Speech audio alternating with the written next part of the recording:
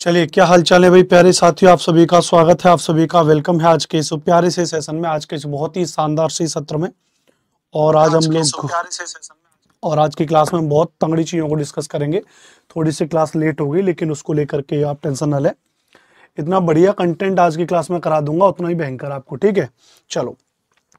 तो एक एक करके चीज़ों को शुरुआत करेंगे। बहुत सारे टॉपिक्स हैं जी के जी एस के जिनको लेकर के हम लोगों को शुरुआत करनी है ठीक है? तो एक बार स्टार्ट करेंगे प्रॉपर बहुत सारा कंटेंट है, बहुत सारी चीज़ें। हालाँकि आज की क्लास का मैं आपको मुद्दा बता दूँ, दो तरीके से क्लासेस हैं। एक तो मैंने आपके लिए क्वेश्चन भी टाइप कर लिए। एक तो मैंने आपके लिए क्या कर लिया है? क्वेश्चन टाइप कर लिए जो 26 अगस्त के साथ साथ अगर मैं आपको ये बता दूँ 26 अगस्त के साथ साथ 24 अगस्त की पहली शिफ्ट में और दूसरी शिफ्ट में जो मेल और फीमेल वाला कॉन्सेप्ट था, और 26 अगस्त का जो टीजीटी का पेपर था वो वाला और ये जो एक से पाँच वाला पेपर था और ये भी जो एक से पाँच वाला पेपर था, इन सभी के जितने भी जीके और जीएस के आए हुए सभी प्रश्न हैं, उन सभी को मैंने टाइप कर लिया है। T R E one point okay कौन से? T R E one point okay और T R E two point okay ठीक है भैया? तो पहले तो आपके लिए एक ये खास बात है। आप देख रहे हैं यहाँ पे बहुत सारे बहुत सारे इतने सारे क्वेश्चन हैं। जिनको मैंने आपके लिए टाइप करके रखा हुआ है, इनको हम आपके लिए डिस्कस करेंगे। लेकिन पहले हम क्या पढ़ेंगे? पहले हम कुछ बेहतरीन कंटेंट भी पढ़ने की शुरुआत करेंगे, जो एग्ज़ाम पॉइंट ऑफ़ व्यू से बहुत ज़्यादा महत्वपूर्ण है। एक एक करके कंटेंट को पढ़ने की शुरुआत करेंगे, जहाँ पे हमने डाउनलोड करके पूरा कंटेंट ले रखा है। कहाँ है भाई? आ जाओ भाई। क्या दिक्कत है आज हाँ। तो सबसे पहले हम जिस टॉपिक को डिस्कस कर रहे हैं आज की क्लास में, जो आपकी परीक्षा के लिए बहुत ज़्यादा महत्वपूर्ण है, जहाँ से सवाल पूछे जाते हैं, वो है प्रमुख दिवस। प्रमुख दिवस को लेकर के हमेशा से आपके पेपर में एक सवाल बनता ही बनता है। तो इनको थोड़ा सा आप इनको समझ के चलिएगा यहाँ पे। ये बहुत महत्वपूर्ण कंटेंट है। तो एक बार आप इसको समझते हैं यहाँ पे, ठीक है? एक एक करके आप कॉपी निकाल लीजिए और लिखने का नंबर लगाइएगा। जैसे कुछ महत्वपूर्ण दिवस हैं, कुछ महत्वपूर्ण दिवस हैं जो आपके पेपर में पूछे जाते हैं, ठीक है? अब कौन कौन से वो महत्वपूर्ण दिवस हैं, इनको थोड़ा सा एक बार यहाँ पे समझते हैं। आपकी स्क्रीन पर कुछ महत्वपूर्ण दिवस दिए हैं तो आप इन महत्वपूर्ण दिवसों को यहाँ पे समझना। ठीक है भैया? एक बात देख लीजिए, आपकी स्क्रीन पर यहाँ पर कुछ महत्वपूर्ण दिवस दे रखे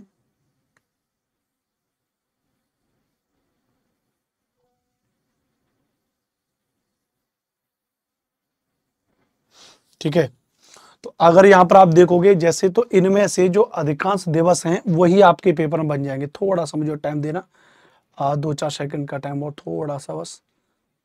डेज़ हम्म। प्रमुख दिवस। ठीक है। तो जैसे ये सवाल आपके पेपर में पूछा जाता है कि ये बताइए 9 जनवरी को कौन सा दिवस मनाया जाएगा? तो आपको पता है कि प्रवासी भारतीय दिवस मनाया जाता है जब गांधी जी दक्षिण अफ्रीका से भारत वापस लौटे थे। जब गांधी जी दक्षिण अफ्रीका से भारत वापस लौटे तो उसके लिए ध्यान रखना, उसकी, उसमें और जो कौन सा दिवस मनाया गया तो वो जो दिवस मनाया गया, उसका नाम था प्रवासी भारतीय दिवस।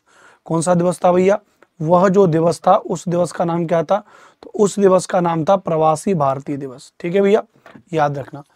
दूसरा अगर हम बात करेंगे तो 12 जनवरी को जो दिवस मनाया जाता है, उसको हम लोग कहते हैं राष्ट्रीय युवा दिवस कहते हैं, नेशनल यूथ डे कहते हैं, इसको याद रखना। पंद्रह जनवरी को एक दिवस मनाया जाता है, जिसको थल सेना दिवस कहते हैं। पच्चीस जनवरी को एक दिवस मनाया जाता है, जिसको राष्ट्रीय मतदाता दिवस कहते हैं। तीस जनवरी को एक दिवस मनाया जाता है, जिसको शहीद दिवस कहते हैं। चार फरवरी को एक दिवस मनाया जाता है, जिसको विश्व कैंसर दिवस कहते हैं। अट्ठाईस फरवरी को राष्ट्रीय विज्ञान दिवस मनाया जाता है। आठ मार्च को अंतर्राष्ट्रीय महिला दिवस मनाया जाता है। 21 मार्च को विश्व वानिकी दिवस मनाया जाता है। और 22 मार्च को विश्व जल दिवस मनाया जाता है। 22 मार्च को विश्व जल दिवस मनाया जाता है, बताओ। ये याद हो गया आपको? ये सभी दिवस आपको याद हो गए तो एक बार बताएँगे। मैं वादा करता हूँ, ये सारी चीज़ें आपके पेपर में पूछी जाएँगी। ध्यान से इनको पढ़ते रहिए और अपनी कॉपी निकाल लीजिए और अपनी कॉपी में लिखते जाइए। अपनी कॉपी में लिखते जाइए इनको, तब आपका काम बनेगा, ठीक है? कॉपी में लिखते जाइए। इन दिवसों को, बड़े आराम से हम चीज़ों को पढ़ेंगे। तो 9 जनवरी को प्रवासी भारतीय दिवस मनाया जाता है 12 जनवरी को राष्ट्रीय युवा दिवस मनाया जाता है 15 जनवरी को थल सेना दिवस मनाया जाता है 25 जनवरी को राष्ट्रीय मतदाता दिवस मनाया जाता है 30 जनवरी को शहीद दिवस 4 फरवरी को विश्व कैंसर दिवस 28 फरवरी को राष्ट्रीय विज्ञान दिवस 8 मार्च को अंतर्राष्ट्रीय महिला दिवस 21 मार्च को विश्व वानिकी दिवस और 22 मार्च को विश्व जल दिवस मनाया जाता है, ध्यान रखना। इसके अलावा यदि आप में कोई D double S B G K G S की तैयारी कर रहा हो या किसी भी टी जी टी के जी के जी एस की तैयारी कर रहा हो तो ये आपकी हेल्प करेगा डेफिनेटली ठीक है? चलिए। अब थोड़ा इसके बाद आएँगे जैसे एक सवाल पूछा था कि ये बताओ विश्व विरासत दिवस वर्ल्ड हेरिटेज डे कब मनाया जाता है तो विश्व विरासत दिवस जो मनाया जाता है वो मनाया जाता है अठारह अप्रैल को विश्व विरासत दिवस मनाया जाता है 18 अप्रैल को क्या मनाया जाता है भैया विश्व विरासत दिवस कब मनाया जाता है तो 18 अप्रैल को विश्व विरासत दिवस मनाया जाता है वहीं 22 अप्रैल को क्या मनाया जाता है भैया तो पृथ्वी दिवस मनाया जाता है अर्थ डे मनाया जाता है ध्यान रखना एकदम से चीज़ों को यहाँ पे समझिए, बहुत बेसिक से चीज़ों को यहाँ पे समझते हुए चलिए। तो अगर हम बात करेंगे कि पृथ्वी दिवस कब मनाया जाता है तो पृथ्वी दिवस मनाया जाता है 22 अप्रैल को मनाया जाता है पृथ्वी दिवस। वही अगर हम बात करेंगे विश्व श्रमिक दिवस कब मनाया जाएगा तो एक मई को मनाया जाएगा विश्व श्रमिक दिवस। तो विश्व श्रमिक दिवस कब मनाया जाता है? एक मई को मनाया जाता है विश्व श्रमिक दिवस। 22 मई की अगर बात करेंगे तो जैव विविधता दिवस कब मनाया जाता है? तो जैव विविधता दिवस 22 मई को मनाया जाता है। जैव विविधता दिवस कब मनाया जाता है भैया? 22 मई को जैव विविधता दिवस मनाया जाता है। वहीं अगर बात करेंगे अंतर्राष्ट्रीय योग दिवस तो 21 जून को मनाया जाता है अंतर्राष्ट्रीय योग दिवस। तो अंतर्राष्ट्रीय योग दिवस कब मनाया जाता है? तो 21 जून को मनाया जाता है अंतर्राष्ट्रीय योग दिवस। वहीं अगर बात करेंगे विश्व जनसंख्या दिवस की तो 11 जुलाई को मनाया जाता है विश्व जनसंख्या दिवस। 11 जुलाई को क्या मनाया जाता है? तो 11 जुलाई को मनाया जाता है विश्व जनसंख्या दिवस, जो परीक्षा की दृष्टि से बहुत ज़्यादा महत्वपूर्ण है। वहीं अंतर्राष्ट्रीय बाघ दिवस की अगर बात करेंगे तो 29 जुलाई को मनाया जाता है अंतर्राष्ट्रीय बाघ दिवस। इस बात को आप याद कर लीजिएगा। 29 जुलाई को क्या मनाया जाता है? अंतर्राष्ट्रीय बाघ दिवस मनाया जाता है। वहीं अगर हम बात करेंगे विश्व युवा दिवस कब मनाया जाता है तो 12 अगस्त को मनाया जाता है विश्व युवा दिवस। कब मनाया जाता है भैया? तो 12 अगस्त को मनाया जाएगा विश्व युवा दिवस और वहीं राष्ट्रीय खेल दिवस की बात करेंगे तो 29 अगस्त को क्या मनाया जाता है मेरे दोस्तों? तो राष्ट्रीय खेल दिवस मनाया जाता है 29 अगस्त को, इसको याद कर लेना। और शिक्षक दिवस अब आपका कब मनाया जाता है? तो पाँच सितंबर को क्या मनाया जाता है? प्रमुख शिक्षक दिवस मनाया जाता है। तो ये वाली लिस्ट अगर आपने पूरी याद कर ली तो एक बार थम्सअप करेंगे मुझे। एक बार कमेंट करके बताएँगे कि अगर आपने ये पूरी लिस्ट अगर आपने याद कर ली है तो सभी लोग एक बार कमेंट करेंगे। एक बार कमेंट में यस लिख करके बताइए, क्या आप लोगों ने ये पूरी की पूरी लिस्ट याद कर ली? अपनी कॉपी में लिखते जाना, अपना दिमाग मत चलाना, कि ये वाला सवाल पेपर में नहीं आता है, ये वाला सवाल पेपर में नहीं आता, बहुत अच्छा कंटेंट बनाया है, और ये आपके पेपर में पूछा जाएगा। ठीक है भैया? एकदम से चीज़ों को यहाँ पे समझते चलिए। सभी परीक्षाओं के लिए महत्वपूर्ण हो जाएगा। आगे बात करेंगे 8 सितंबर को क्या मनाया जाता है? तो 8 सितंबर को मनाया जाता है अंतरराष्ट्रीय साक्षरता दिवस। ये साल भर में तीन सौ पैंसठ दिन होते हैं और तीन सौ पैंसठ दिन में तीन सौ पैंसठ दिवस होते हैं। लेकिन अब तीन सौ पैंसठ दिवस थोड़ी ना याद कर सकते हैं। तो हमें कुछ महत्वपूर्ण दिवस याद करने पड़ेंगे। हमें क्या याद करने पड़ेंगे? हमें कुछ महत्वपूर्ण दिवस याद करने पड़ेंगे। और हम उन कुछ महत्वपूर्ण दिवसों को ही समझेंगे। जैसे 8 सितंबर को अंतर्राष्ट्रीय साक्षरता दिवस है, वहीं 14 सितंबर को शिक्षक दिवस मनाया जाता है, टीचर्स डे मनाया जाता है, ये परीक्षा की दृष्टि से महत्वपूर्ण है। 14 सितंबर को शिक्षक दिवस, वहीं 16 सितंबर को ओजोन परत संरक्षण दिवस मनाया जाता है, ओजोन लेयर प्रोटेक्शन डे कब मनाया जाएगा? तो 16 सितंबर को ओजोन परत संरक्षण दिवस मनाया जाएगा। वहीं अगर बात करेंगे 21 सितंबर की तो यहाँ पर विश्व शांति दिवस मनाया जाता है। 21 सितंबर को क्या मनाया जाता है? 21 सितंबर को विश्व शांति दिवस मनाया जाता है। पाँच अक्टूबर को विश्व शिक्षक दिवस मनाया जाता है। पाँच अक्टूबर को क्या मनाया जाएगा? विश्व शिक्षक दिवस मनाया जाएगा और वहीं चौदह सितंबर को ऑलरेडी क्या मनाया जाता है? शिक्षक दिवस मनाया जाता है। इंडिया में याद रखना। आठ अक्टूबर की अगर बात करेंगे तो वायुसेना दिवस बात करेंगे आठ अक्टूबर की। और आप जानते हैं, यहाँ पर आठ अक्टूबर से पहले आप यहाँ पर जानते हैं कि पंद्रह जनवरी को मैंने भी आपको पढ़ाया था, पंद्रह जनवरी को क्या मनाते हैं? थल सेना दिवस मनाते हैं, आर्मी डे मनाते हैं। तो आर्मी डे पंद्रह जनवरी को मनाते हैं रखना। और वहीं एयरफोर्स डे हम कब मनाते हैं? आठ अक्टूबर को मनाते हैं। एयरफोर्स डे कब मनाते हैं? आठ अक्टूबर को मनाते हैं। और वहीं चार दिसंबर को क्या मनाते हैं भैया? नेवी डे मनाते हैं, नौसेना दिवस मनाते हैं। क्या मनाते हैं? नौसेना दिवस मनाते हैं। इस बात को ध्यान रखना। ठीक है भैया? चलिए। दूसरा 9 अक्टूबर को क्या मनाएँगे? तो विश्व डाक दिवस मनाएँगे, वर्ल्ड पोस्ट डे मनाएँगे। 16 अक्टूबर को कौन सा दिवस मनाएँगे? तो विश्व खाद्य दिवस मनाते हैं। एक दिसंबर को क्या मनाते हैं? तो विश्व एड्स दिवस मनाते हैं। वहीं दस दिसंबर को क्या मनाएँगे? तो मानवाधिकार दिवस, ह्यूमन राइट डे मनाएँगे। और तेईस दिसंबर को हम लोग किसान दिवस मनाएँगे। तेईस दिसंबर को हम लोग क्या मनाएँगे भैया? किसान दिवस मनाएँगे, याद रखना। तेईस दिसंबर को हम लोग क्या मनाने वाले भैया? तो तेईस दिसंबर को हम लोग किसान दिवस मनाने वाले हैं, ठीक? तो एक तो लिस्ट मैंने आपके लिए, ये है, यहाँ पे अगर देखेंगे तो ये बारह दस बारह एक लिस्ट में तो ये आपके लिए मैंने तीस पैंतीस मेरे ख्याल से दिवस होंगे। ये तीस पैंतीस मेरे ख्याल से दिवस होंगे, इनको अगर आप याद कर लोगे तो कहीं ना कहीं आपके पेपर में ये बन जाएँगे। अब कुछ क्वेश्चन के माध्यम से चीज़ों को कर लेते हैं। अब कुछ क्या कर लेते हैं भैया? अब यहाँ पर क्या कर लेते हैं, कुछ क्वेश्चन के माध्यम से चीज़ों को कर लेते हैं। जैसे जैसे अब आप एक सवाल का जवाब बताइए, अगर आपसे एक क्वेश्चन पूछा जाए कि विश्व वन्य जीव दिवस कब मनाया जाता है, बताइए। अगर आपसे पूछा जाए कि भैया ये बताइए कि विश्व वन्य जीव दिवस कब मनाया जाता है, बताइए।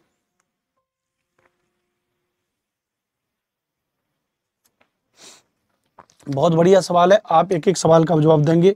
अब मैं आपके कमेंट खोल लेता हूँ, क्योंकि अभी तक मैंने आपके कमेंट नहीं खोले थे, ठीक है?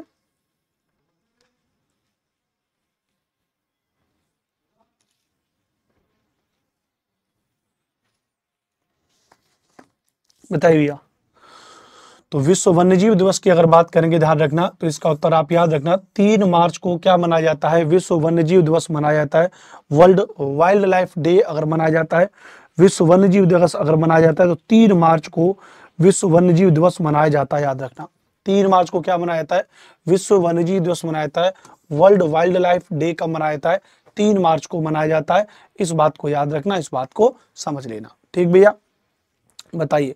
कोई दिक्कत तो नहीं, कोई दिक्कत तो नहीं। वही 28 फरवरी को हमने क्या बताया था? वही 28 फरवरी को हमने आपको बताया था, राष्ट्रीय विज्ञान दिवस बताया था। क्या बताया था? राष्ट्रीय विज्ञान दिवस। तो राष्ट्रीय विज्ञान दिवस कब मनाया जाता है? तो राष्ट्रीय विज्ञान दिवस हमारा मनाया जाता है। 28 फरवरी को राष्ट्रीय विज्ञान दिवस मनाया जाता है। इस बात को आप याद रखना। ठीक है? अगला एक और बढ़िया सवाल है आपके लिए। अगला एक और बड़ा महत्वपूर्ण सवाल है। कि प्रतिवर्ष राष्ट्रीय सुरक्षा दिवस कब मनाया जाता है? तो प्रतिवर्ष राष्ट्रीय सुरक्षा दिवस आपसे कब मनाया जाएगा? When is national safety day celebrated every year तो प्रतिवर्ष राष्ट्रीय सुरक्षा दिवस कब मनाया जाता है बताओ भैया। तो एक तो आप हटा दोगे 28 फरवरी को तो आप हटा दोगे राष्ट्रीय विज्ञान दिवस होता है। राष्ट्रीय विज्ञान दिवस होगा। भाई 28 फरवरी को क्या हुआ? तो 28 फरवरी को राष्ट्रीय विज्ञान दिवस होगा। तो इसको तो आप हटा दो बाहर यहाँ से, इसको तो आप हटा दो। और तीन मार्च को क्या है? विश्व वन्य जीव दिवस है। तीन मार्च को क्या है? तो तीन मार्च को क्या हो जाएगा? विश्व वन्य जीव दिवस है। विश्व वन्य जीव दिवस है। क्या भैया? तो तीन मार्च को क्या हो जाएगा भैया? तो तीन मार्च को आपका क्या हो जाएगा भैया? विश्व वन्य जीव दिवस हो जाएगा। अब आपको बताना है कि नेशनल सेफ्टी डे हमको कब मनाना होता है भैया? ठीक है भैया, बताओ। ठीक है? तो बिल्कुल सही है। तीन मार्च नहीं, चार मार्च इसका क्षेत्र हो जाएगा। तो चार मार्च को हम क्या मनाएँगे भैया? चार मार्च को हम लोग प्रतिवर्ष राष्ट्रीय सुरक्षा दिवस मनाते हैं। क्या मनाते हैं भैया? तो राष्ट्रीय सुरक्षा दिवस की अगर आपसे पूछा जाए तो जो राष्ट्रीय सुरक्षा दिवस है, वो राष्ट्रीय सुरक्षा दिवस हम कब मनाते हैं? तो प्रतिवर्ष चार मार्च को हम लोग क्या मनाते हैं भैया? राष्ट्रीय सुरक्षा दिवस मनाते हैं, ध्यान रखना। राष्ट्रीय सुरक्षा दिवस मनाते हैं, याद रखना। ठीक है भैया? तो प्रतिवर्ष चार दिवस को हम लोग क्या मनाते हैं भैया? राष्ट्रीय सुरक्षा दिवस मनाते हैं। इस बात को आप याद रख लीजिएगा।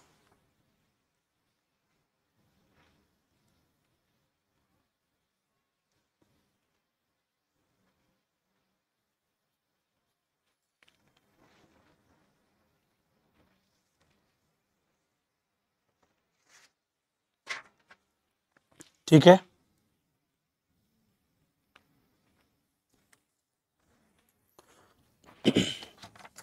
चलिए, आगे बात करेंगे भैया।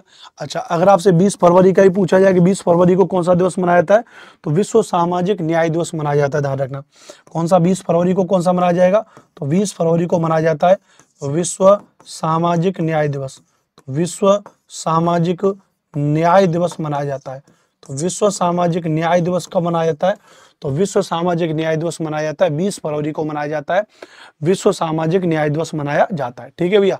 याद हो जाएँगे। मैं मानता हूँ ये सवाल बहुत सरल हैं, बहुत हल्के लेवल के हैं, लेकिन ये आपके पेपर में ज़रूर पूछे जाएँगे। ये आपके पेपर में ज़रूर पूछे जाएँगे, ध्यान से पढ़ते जाना चलिए। अगला सवाल है आपसे कि प्रत्येक दिवस विश्व नागरिक सुरक्षा दिवस कब मनाते हैं? तो ये तो शायद आ गया ना, विश्व नागरिक सुरक्षा दिवस। अच्छा राष्ट्रीय सुरक्षा दिवस होता है, एक होता है विश्व नागरिक सुरक्षा दिवस कब मनाते हैं। तो बात वही है, दो ऑप्शन तो इसमें से हट गए, अट्ठाईस फरवरी को क्या मनाएगा? राष्ट्रीय विज्ञान दिवस मनाएँगे। बीस फरवरी को हमने आपको क्या बता दिया भैया?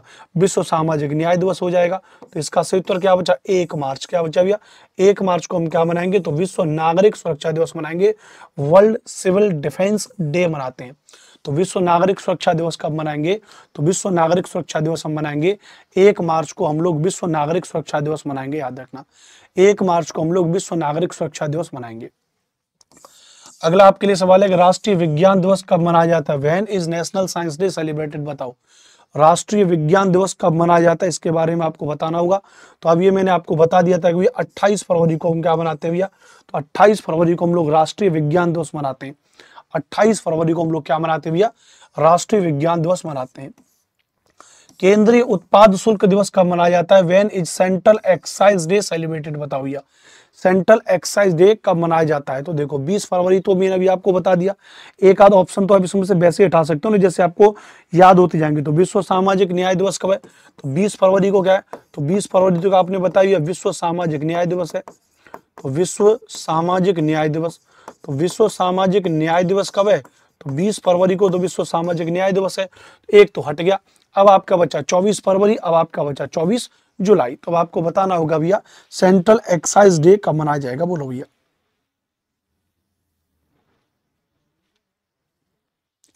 ध्यान रखना 24 फरवरी को हम क्या मनाते हैं भैया? केंद्रीय उत्पाद शुल्क दिवस कब मनाते हैं? तो 24 फरवरी को हम लोग 24 फरवरी को केंद्रीय उत्पाद शुल्क दिवस मनाते हैं। 24 फरवरी को क्या मनाते हैं? तो 24 फरवरी को केंद्रीय उत्पाद शुल्क दिवस मनाते हैं। क्या मनाते भैया? तो 24 फरवरी को हम लोग केंद्रीय उत्पाद शुल्क दिवस मनाते हैं। इस बात को आप याद रखना, ठीक है? चलिए। अगला सवाल है कि अंतरराष्ट्रीय मातृभाषा दिवस कब मनाया जाता है? When is international mother language day celebrated अंतरराष्ट्रीय मातृभाषा दिवस कब मनाया जाता है? 21 फरवरी 20 फरवरी 24 जुलाई, इनमें से कोई नहीं। तो 20 फरवरी को तो हटा दो। विश्व सामाजिक न्याय दिवस है भैया, बताओ। अंतरराष्ट्रीय मातृभाषा दिवस बताओ भैया कितना बढ़िया सवाल है। अंतरराष्ट्रीय मातृभाषा दिवस।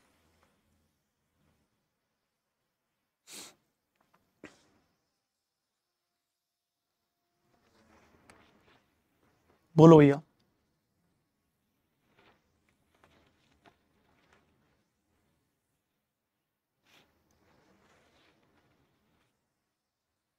बिल्कुल, हेमंत सिंह का बिल्कुल सही, इक्कीस फरवरी को। तो 21 फरवरी को हम क्या मनाते भैया? सभी लोग कमेंट भी करते चलो भाई। भाई, जो लोग बाकी के सेशन देख रहे हो एटलीस्ट कमेंट तो करते चलो, है ना? और बताएँगे तो कब हो जाएगा? 21 फरवरी को हम लोग क्या मनाते हैं भैया?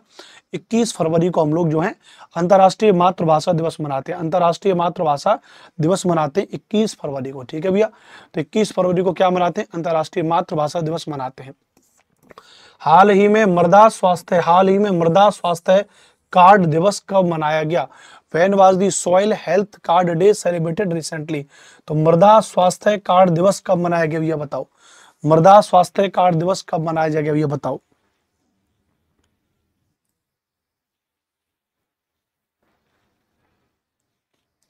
बोलो भैया।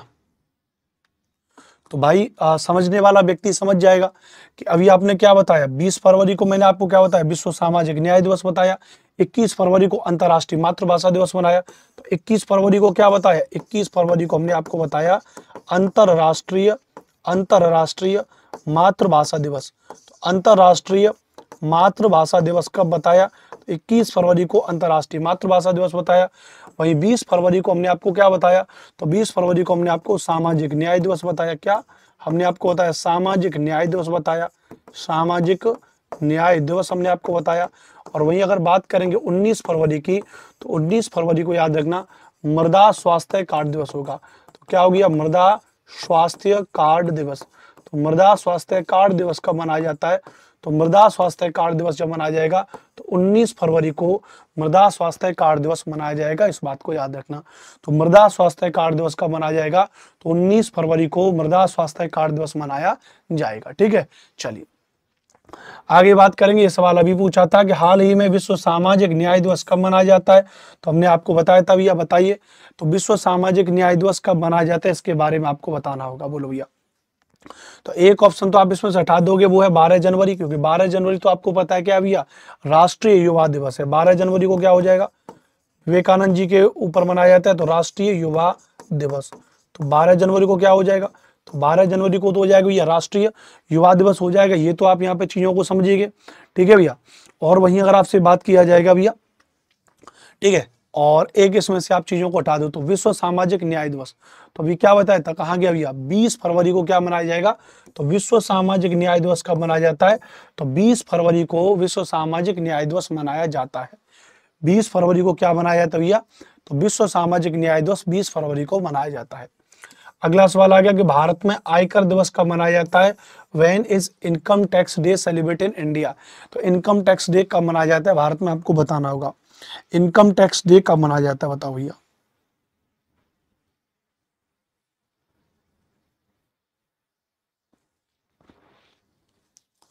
बताओ भैया, इनकम टैक्स डे कब मनाया जाता है भैया। तो ध्यान रखना 24 जुलाई को 24 जुलाई को भारत में क्या मनाया जाता है भैया तो इनकम टैक्स डे मनाया जाता है। भारत में 24 जुलाई को क्या मनाया जाता है तो याद रखना, भारत में 24 जुलाई को क्या मनाया जाता है, इनकम टैक्स डे मनाया जाता है भारत में 24 जुलाई को। 24 जुलाई को क्या मनाया जाता है? इनकम टैक्स डे मनाया जाता है 24 जुलाई को, याद रखना, ठीक है भैया? चलिए, अगला सवाल अगर आपसे पूछे यहाँ पे, ये बताओ कारगिल विजय दिवस कब मनाया जाता है? वेन इज़ कारगिल विजय दिवस सेलिब्रेटेड आपसे अगर पूछ ले भैया, बताओ कारगिल विजय दिवस कब मनाया जाता है, बताओ भैया।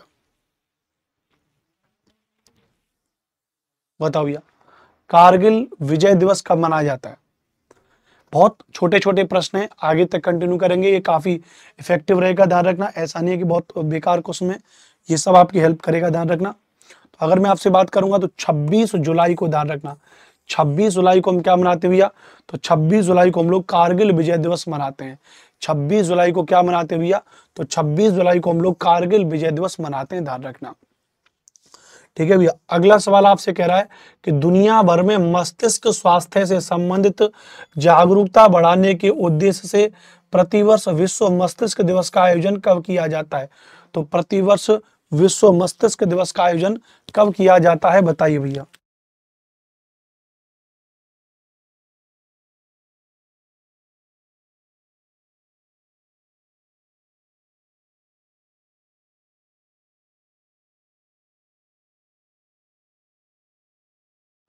तो अगर हम बात करेंगे भैया कि दुनिया भर में मस्तिष्क स्वास्थ्य से संबंधित जागरूकता बढ़ाने के उद्देश्य से अगर आपसे पूछा जाए कि विश्व मस्तिष्क दिवस कब मनाया जाता है, इसके बारे में आपको बताना होगा भैया। वर्ल्ड ब्रेन डे कब मनाया जाता है, बताओ भैया।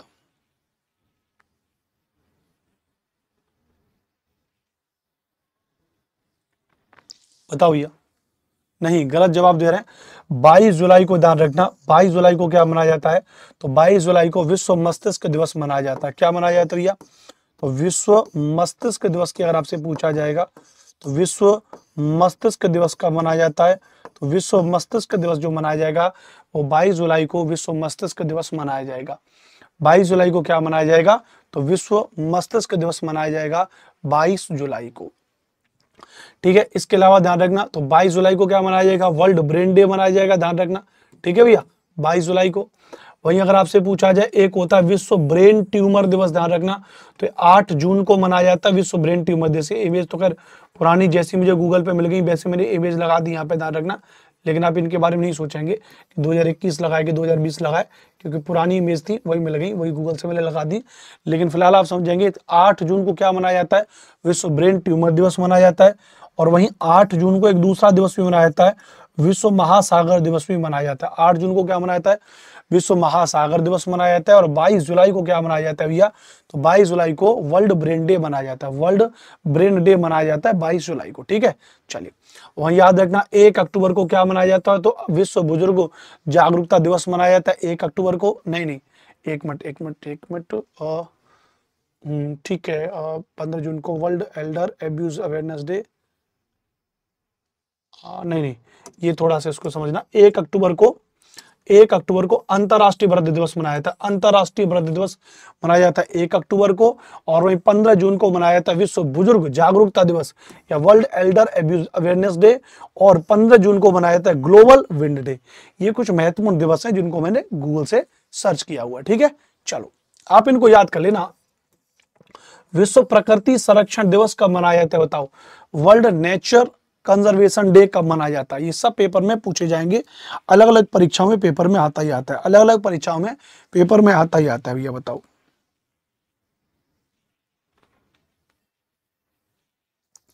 वर्ल्ड नेचर कंजर्वेशन डे कब मनाते हैं? भैया बताओ। वर्ल्ड नेचर कंजर्वेशन डे कब मनाते हैं? बोलो भैया। कमेंट करेंगे। वर्ल्ड नेचर कंजर्वेशन डे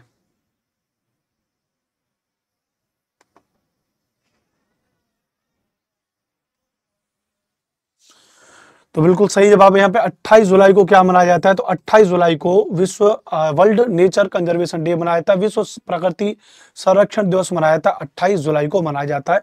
विश्व प्रकृति संरक्षण दिवस, ठीक है? तो ये तो इतने आपके रहे दिवस जितने मैंने आपको जहाँ पे कुछ प्रमुख दिवस कराए एक बार फिर से रैपिड रिवीजन कर लो।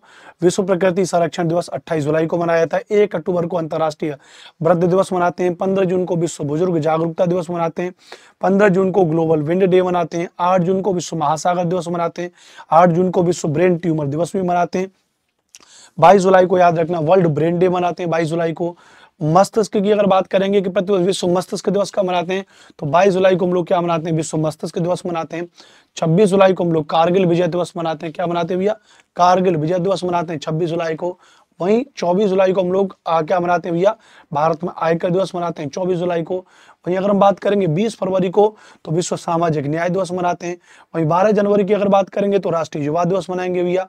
मृदा स्वास्थ्य कार्ड दिवस की बात करेंगे तो 19 फरवरी को मृदा स्वास्थ्य कार्ड दिवस मनाया जाता है। 20 फरवरी को सामाजिक न्याय दिवस मनाया जाता है। इक्कीस फरवरी को अंतर्राष्ट्रीय मातृभाषा दिवस मनाया जाता है। 20 फरवरी को सॉरी इक्कीस फरवरी को अंतर्राष्ट्रीय मातृभाषा दिवस मनाया जाता है इक्कीस फरवरी को केंद्रीय उत्पाद शुल्क दिवस मनाया जाता है चौबीस फरवरी को मनाया जाता है राष्ट्रीय विज्ञान दिवस अट्ठाईस फरवरी को मनाया जाता है विश्व नागरिक सुरक्षा दिवस एक मार्च को मनाया जाता है राष्ट्रीय सुरक्षा दिवस चार मार्च को मनाया जाता है तीन मार्च को विश्व वन्य जीव दिवस मनाया जाता है अट्ठाईस फरवरी को राष्ट्रीय विज्ञान दिवस मनाया जाता है बीस फरवरी को विश्व सामाजिक न्याय दिवस मनाया जाता है विश्व वन्य जीव दिवस की बात करेंगे तीन मार्च को विश्व वन्य जीव दिवस मनाया जाता है और उसके आधार पर ये कुछ प्रमुख दिवस है, जिनके बारे में आपको यहाँ पर पूरी तरीके से पढ़ा दिया, ठीक है? जी के जीएस की एक क्लास है। अब इसके बाद मैं आपके लिए कुछ चीज़ें और आपको पढ़ाता हूँ, जो मैंने आपको यहाँ पर पढ़ा दी। अब मैंने आपको प्रमुख दिवस मैंने आपको पढ़ा दिए। अब मैं आपको पढ़ाने वाला हूँ प्रमुख वाद्य यंत्र और शास्त्रीय नृत्य, जिनसे सवाल पेपर में बन जाते हैं। क्या? जिनसे सवाल पेपर में बन जाते हैं, उसके बाद अब मैं आपके लिए जो टॉपिक लेकर के आऊँ वो टॉपिक है महत्वपूर्ण वाद्य यंत्र और उनके वादक। Important musical instrument and their players महत्वपूर्ण वाद्य यंत्र और उनके वादक के बारे में आपको बताऊँगा। महत्वपूर्ण वाद्य यंत्र और उनके वादक। ये सवाल पेपर में पूछा जाता है। तो महत्वपूर्ण वाद्य यंत्र में अगर बात करेंगे, जैसे सितार है तो सितार आप देखोगे, इस तरीके से होती है सितार। सितार इस तरीके से होती है, ध्यान रखना। और एक और बात हूँ ये आज पूरी क्लास जिसमें बालक ने देख ली तो चाहे आप जी के जी किसी का भी दे रहे Bihar T R E three point two में एक से पाँच छः से आठ, नौ से दस, ग्यारह से बारह, किसी भी वर्ग की अगर आप जी के जी एस पढ़ रहे हो जी के जी एस दे रहे हो तो मामला एकदम से क्लियर हो जाएगा। कहीं और से बिल्कुल भी पढ़ने की ज़रूरत नहीं है। छोटी से छोटी, बड़ी से बड़ी सारी चीज़ें मैं आपको करा दूँगा। सबसे पहले सितार के बारे में बात करेंगे तो याद रखना, अगर यहाँ पर कुछ महत्वपूर्ण चीज़ों के बारे में बात करेंगे तो सितार का आविष्कार अमीर खुसरो के द्वारा किया गया था। The sitar was invented by Amir Khusro. तो सितार का आविष्कार किसके द्वारा किया गया था? तो सितार का आविष्कार अमीर खुसरो के द्वारा किया गया था। याद रखना, पंडित रविशंकर, विलायत खान, बंदे हसन, मुश्ताक अली खान शाहिद परवेज खान, इसके प्रमुख वादक हैं। तो प्रमुख सितार वादक कौन कौन है, ये सवाल पेपर में पूछा जा सकता है कि प्रमुख सितार वादक कौन कौन से तो ध्यान रखना, पंडित रविशंकर, विलायत खान, बंदे हसन मुश्ताक अली खान शाहिद परवेज खान, ये इसके प्रमुख वादक हैं। और ध्यान रखना, सितार वादक ही हैं जिनका नाम है पंडित रवि शंकर, जो प्रथम भारतीय व्यक्ति थे जो उन्नीस में संगीत जगत के सर्वश्रेष्ठ पुरस्कार ग्रेमी अवार्ड से सम्मानित किए गए थे। तो भारत के प्रथम व्यक्ति कौन है जिनको ग्रेमी अवार्ड से सम्मानित किया गया था? तो ग्रेमी अवार्ड जो है, ग्रेमी अवार्ड जो याद रखना, पूरे विश्व का ग्रेमी अवार्ड जो मेरे दोस्तों याद रखना, पूरे विश्व का क्या हो जाएगा भैया? संगीत के मामले में सबसे प्रमुख है। तो पंडित रविशंकर प्रथम भारतीय व्यक्ति थे जो उन्नीस में संगीत जगत के सर्वश्रेष्ठ पुरस्कार ग्रेमी अवार्ड से सम्मानित भी किए गए थे। ग्रेमी अवार्ड अमेरिका के महत्वपूर्ण पुरस्कारों में से एक है, अमेरिका के द्वारा दिया जाता है और इसका आयोजन 4 मई 1959 को सबसे पहले किया गया था ग्रेमी अवार्ड का। ये मैंने एक्स्ट्रा फैक्ट आपके लिए यहाँ पर बता दिए। ये सब पेपर की दृष्टि से महत्वपूर्ण होते हैं। तो अगर आपसे पूछा जाए कि सितार का आविष्कार किसके द्वारा किया गया तो अमीर खुसरो के द्वारा सितार का आविष्कार किया गया। पंडित रविशंकर, विलायत खान, बंदी हसन, मुश्ताक अली खान शाहिद परवेज खान इसके प्रमुख बाधक हो जाएँगे, सितार के ध्यान रखना। बोलो क्लियर है? इतनी इतनी ब्रीफ में नॉलेज में आपको दे रहा हूँ, ठीक है? याद रखना, ठीक है भैया? चलिए। आगे बात करेंगे, अगर हम तबला के बारे में बात करेंगे तो तबला आपको बताइए, आपने चेहरा भी पहचान लिया होगा कि जो, जिन्होंने सितार का आविष्कार किया, उन्होंने तबले का भी आविष्कार किया था, और वो कोई और नहीं है, तबला वादक ध्यान रखना, अमीर खुसरो ही है। तो अगर आपसे कहा जाए कि तबला का आविष्कार किसने किया? तो अमीर खुसरो ने तबला का आविष्कार भी किया। किसने? अमीर खुसरो ने तबला का आविष्कार किया और उसके प्रमुख वादक में जाकिर हुसैन साहब हैं, लतीफ खान हैं, अल्लाह रखा खान हैं, गुदई महाराज, पंडित किशन महाराज, फैयाज खां सुखविंदर साबिर खान, पंडित ज्ञान प्रकाश घोष। अब इन व्यक्तियों के नाम तो याद रखने पड़ेंगे ना, क्योंकि ये बहुत महत्वपूर्ण है। किताबों में पढ़ोगे तो कम से कम 20 बीस तीस तीस नाम दे रखे होते हैं। किताबों में 20 बीस तीस तीस नाम दे रखे होते हैं। उतना पढ़ नहीं सकते हो आप। उतना पढ़ नहीं सकते हो। ठीक है भैया? उतना पढ़ नहीं सकते हो। तो जितना पढ़ सकते हो, उतने की बता रहे हैं तो इसके प्रमुख वादकों में जहांगीर हुसैन साहब हैं, लतीफ़ खान हैं, अल्लाह रखा खान हैं, गुदई महाराज हैं, पंडित किशन महाराज हैं, फैयाज खान हैं सुखविंदर साबिर खान हैं, पंडित ज्ञान प्रकाश घोष हैं। कौन भैया? पंडित ज्ञान प्रकाश घोष हैं तो इस बात को याद रखना। ठीक है भैया? क्लियर यहाँ तक? ये बात समझ में आ गई तो एक बार बताएँगे। यस कर दो एक बार हाँ सर, यहाँ पर एक बात समझ में आ चुकी है। तो प्रमुख तबला वादकों में लतीफ़ खान और हाँ ध्यान रखना, ये बात हालाँकि अब जाकिर हुसैन साहब नहीं रहे, लेकिन जाकिर हुसैन के बारे में पूछा जाता है कि जाकिर हुसैन का संबंध किससे रहा? तो ये प्रमुख तबला वादक रहे जाकिर हुसैन साहब, अल्लाह रखा खान, गुदई महाराज, पंडित किशन वाजा, फैयाज खान सुखविंदर साबिर खान, पंडित ज्ञान प्रकाश घोष, इनका नाम याद रखना। ठीक भैया, चलिए।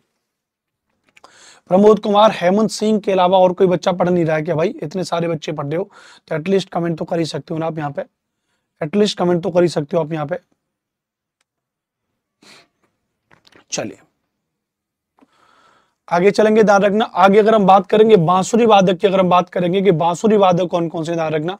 तो बांसुरी वादक में अगर हम बात करेंगे तो आपको पता है बांसुरी तो भगवान श्री कृष्ण कन्हैया प्रमुख बंसी वादक भी रहे, है ना? तो बंसी सब सुर साजे है, एक बंसी सब सुर साजे है, एक ही सुर में बाज है, और मैं भूल गया ना? चलिए खैर। तो ध्यान रखना, बांसुरी के बारे में बात करेंगे तो इसके प्रमुख वादक जो हुए उनमें एक व्यक्ति का नाम आता है पन्नालाल घोष का नाम आता है, ध्यान रखना। हरिप्रसाद चौरसिया का नाम आता है, एन रमानी का नाम आता है टी आर महालिंगम का नाम आता है।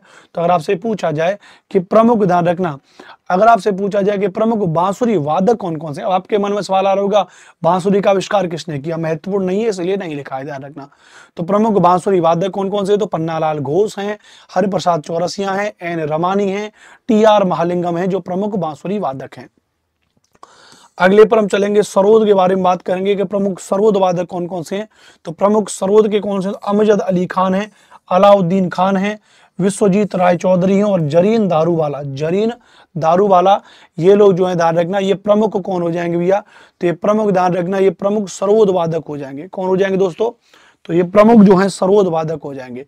कौन हो जाएँगे भैया? तो ये दो ध्यान रखना, प्रमुख सरोद वादक हो जाएँगे। ठीक भैया? बताइए।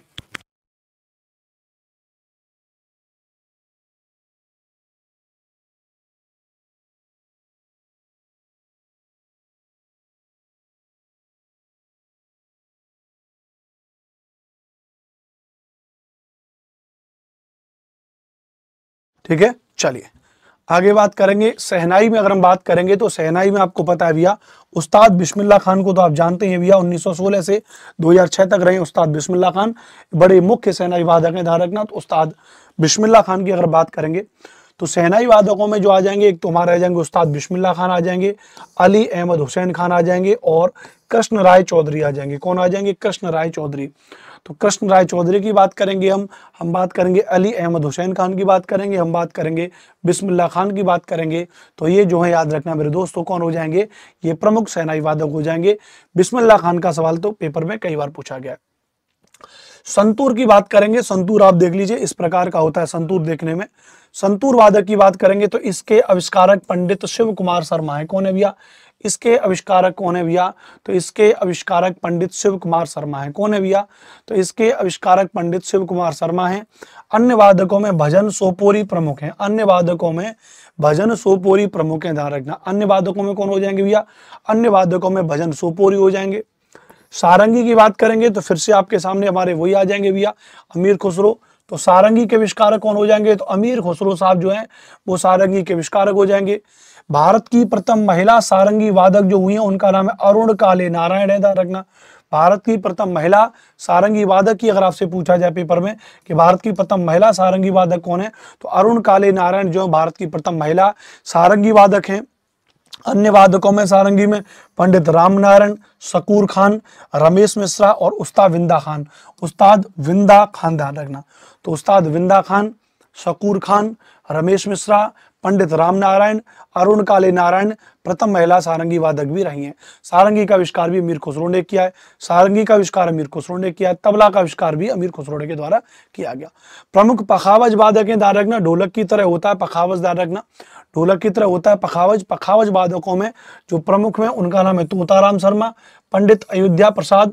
पंडित अयोध्या प्रसाद हो जाएँगे। कौन हो जाएँगे भैया? पंडित अयोध्या प्रसाद हो जाएँगे, गोपाल दास हो जाएँगे और बाबू राम शंकर पागल दास।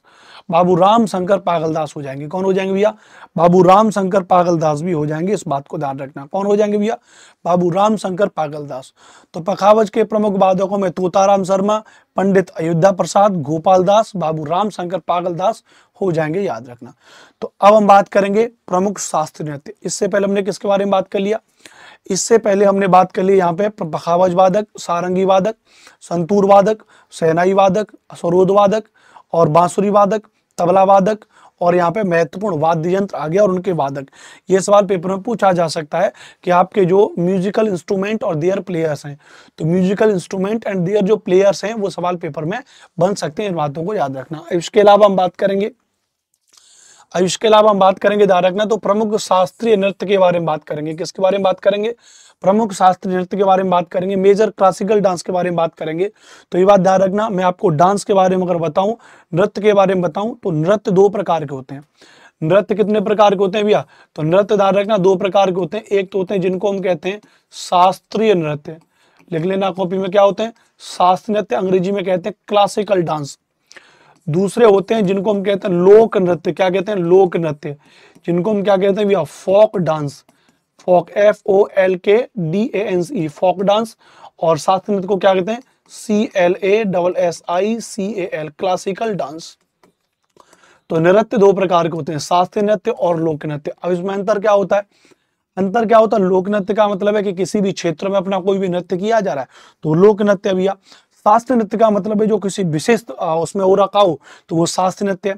तो लोक नृत्यों की संख्या तो बहुत सारी हो जाएगी, लेकिन शास्त्र नृत्य हमारे कितने? तो मुख्य हमारे आठ शास्त्र नृत्य हैं। तो मुख्य हमारे कितने भैया? तो मुख्य हमारे आठ शास्त्रीय नृत्य याद रखना। तो मुख्य हमारे कितने शास्त्रीय नृत्य भैया? तो मुख्य हमारे और आठ जो है शास्त्रीय नृत्य हैं। कौन कौन से हैं? कथक, भरतनाट्यम, ओडिसी, सत्रिया, कुचिपुड़ी, कथकली, मोहिनीअट्टम और मणिपुरी। आठ हमारे शास्त्र नृत्य हो जाएँगे। कथक का हो जाएगा, ध्यान रखना तो कथक हमारा हो जाएगा उत्तर प्रदेश में। कहा हो जाएगा? उत्तर प्रदेश में हो जाएगा। ओडिसी कहा हो जाएगा भैया तो ओडिसी हमारे उड़ीसा में हो जाएगा। सत्रिया हमारा कहाँ हो जाएगा? असम में हो जाएगा। कच्चीपुड़ी कहाँ हो जाएगा? तो ये हो जाएगा आंध्र प्रदेश में हो जाएगा।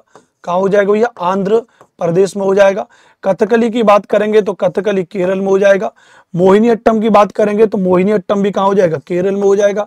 मोहिनी अट्टम, मणिपुरी की बात करेंगे भैया तो मणिपुर में हो जाएगा। और भरतनाट्यम कहाँ हो जाएगा? तो भरतनाट्यम तमिलनाडु में हो जाएगा। भरतनाट्यम कहाँ पर हो जाएगा भैया? तमिलनाडु में हो जाएगा, याद रख लीजिएगा। तो ये आठ शास्त्रीय नृत्य हैं मोस्ट इंपोर्टेंट है, परीक्षा की दृष्टि से।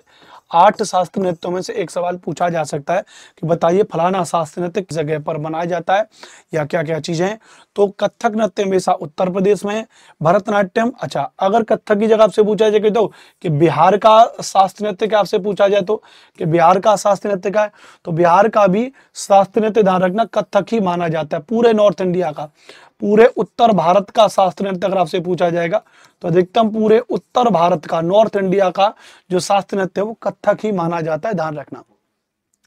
सुंदरम कुमारी करें कैसे हो आप गुरुजी, तभी ठीक है। जी हाँ बिल्कुल, अभी थोड़ा सा ठीक है। मतलब सेवेंटी परसेंट तक मुझे रिलैक्स है।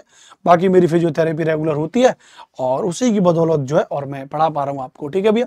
चलो। अब हम अगले सवाल पर आएँगे तो हमने शास्त्रीय नृत्यों के तो हमने पढ़ लिए, आठ शास्त्रीय नृत्य ठीक है? लेकिन अब समझेंगे शास्त्रीय नृत्य के बारे में कुछ डिटेल की कहानी क्या क्या चीज़ें हैं शास्त्रीय नृत्यों के बारे में। जैसे शास्त्रीय नृत्य के बारे में बात करेंगे तो भरत मुनि द्वारा रचित नाट्य शास्त्र मतलब एक पुस्तक है नाट्य शास्त्र जिसको किसने लिखा है? भरत मुनि ने। किताबों को भी याद रखना। तो नाट्य शास्त्र जो किसने लिखा है? भरत मुनि ने द्वारा लिखा हुआ है और आचार्य नंदी केश्वर के द्वारा रचित अभिनय दर्पण। दो किताबें ध्यान रख लो पहले तो। पहले तो आप दो किताबें का नाम याद रख लो। एक किताब का नाम है, जिसको हम कहते हैं अभिनय दर्पण। क्या नाम भैया? अभिनय दर्पण। तो अभिनय दर्पण को किसके द्वारा लिखा गया तो अभिनय दर्पण को लिखा गया आचार्य नंदी केश्वर के द्वारा। आचार्य नंद केश्वर के द्वारा। आचार्य नंद केश्वर के द्वारा किसको रखा गया भैया? अभिनय दर्पण को रखा गया, ध्यान रखना। और वही अगर हम बात करेंगे नाट्य शास्त्र की अगर हम बात करेंगे तो नाट्य शास्त्र जो किसके द्वारा लिखा गया तो भरत मुनि के द्वारा। किसके द्वारा? तो भरत मुनि के द्वारा नाट्य शास्त्र को लिखा गया। ये दो किताबें ध्यान रखना। अच्छा इन दो किताबों में हमको शुरुआत में शास्त्रीय नृत्य का उल्लेख मिलता है। बिहार का शास्त्रीय नृत्य कथक है। जी हाँ बिल्कुल। ठीक है? तो शास्त्रीय नृत्य का उल्लेख मिलता है किन में भैया? तो मेरे दोस्तों, याद रखना, इन दो किताबों में शुरुआत में शास्त्रीय नृत्य का उल्लेख मिलता है। ध्यान रखना। वर्तमान में कुल कितने शास्त्र नृत्य तो वर्तमान में आठ जो है शास्त्र नृत्य हो जाएँगे। वर्तमान में कितने हो जाएँगे? तो वर्तमान में आठ शास्त्रीय नृत्य हैं। शिव की नटराज मूर्ति शास्त्रीय नृत्य का प्रतीक है।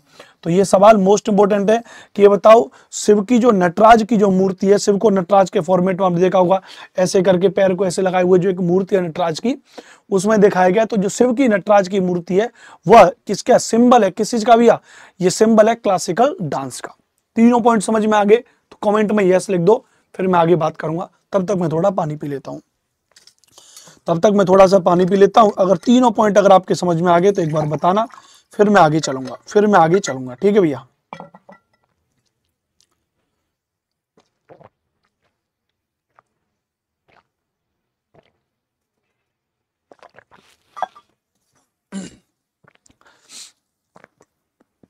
अहमद सिंह करें यस सर जूही परवीन करें यस सर, ओके, ठीक है जी। गुरुजी, पढ़ाई के साथ साथ अपने सेहत पर भी ध्यान दीजिएगा। गुरुजी, टी थोड़ा कम पिया करिए, हम लोग के लिए आप जान है गुरुजी। अब तो चाय बहुत कम कर दी, सुंदरम कुमारी जी। घर वालों ने बंद करवा दी, बिल्कुल। अब तो मुश्किल से दिन में, पूरे दिन में दो या तीन चाय केवल। पहले तो मैं बहुत पीता था, अब तो दो या तीन चाय केवल। तो भरत मुनि द्वारा रचित नाट्य शास्त्र और आचार्य नंदी के द्वारा रचित अभिनय दर्पण में शास्त्र नृत्य का उल्लेख है। वर्तमान में आठ शास्त्रीय नृत्य हैं।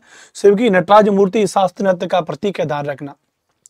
अब जैसे पहला शास्त्रीय नृत्य भरतनाट्यम।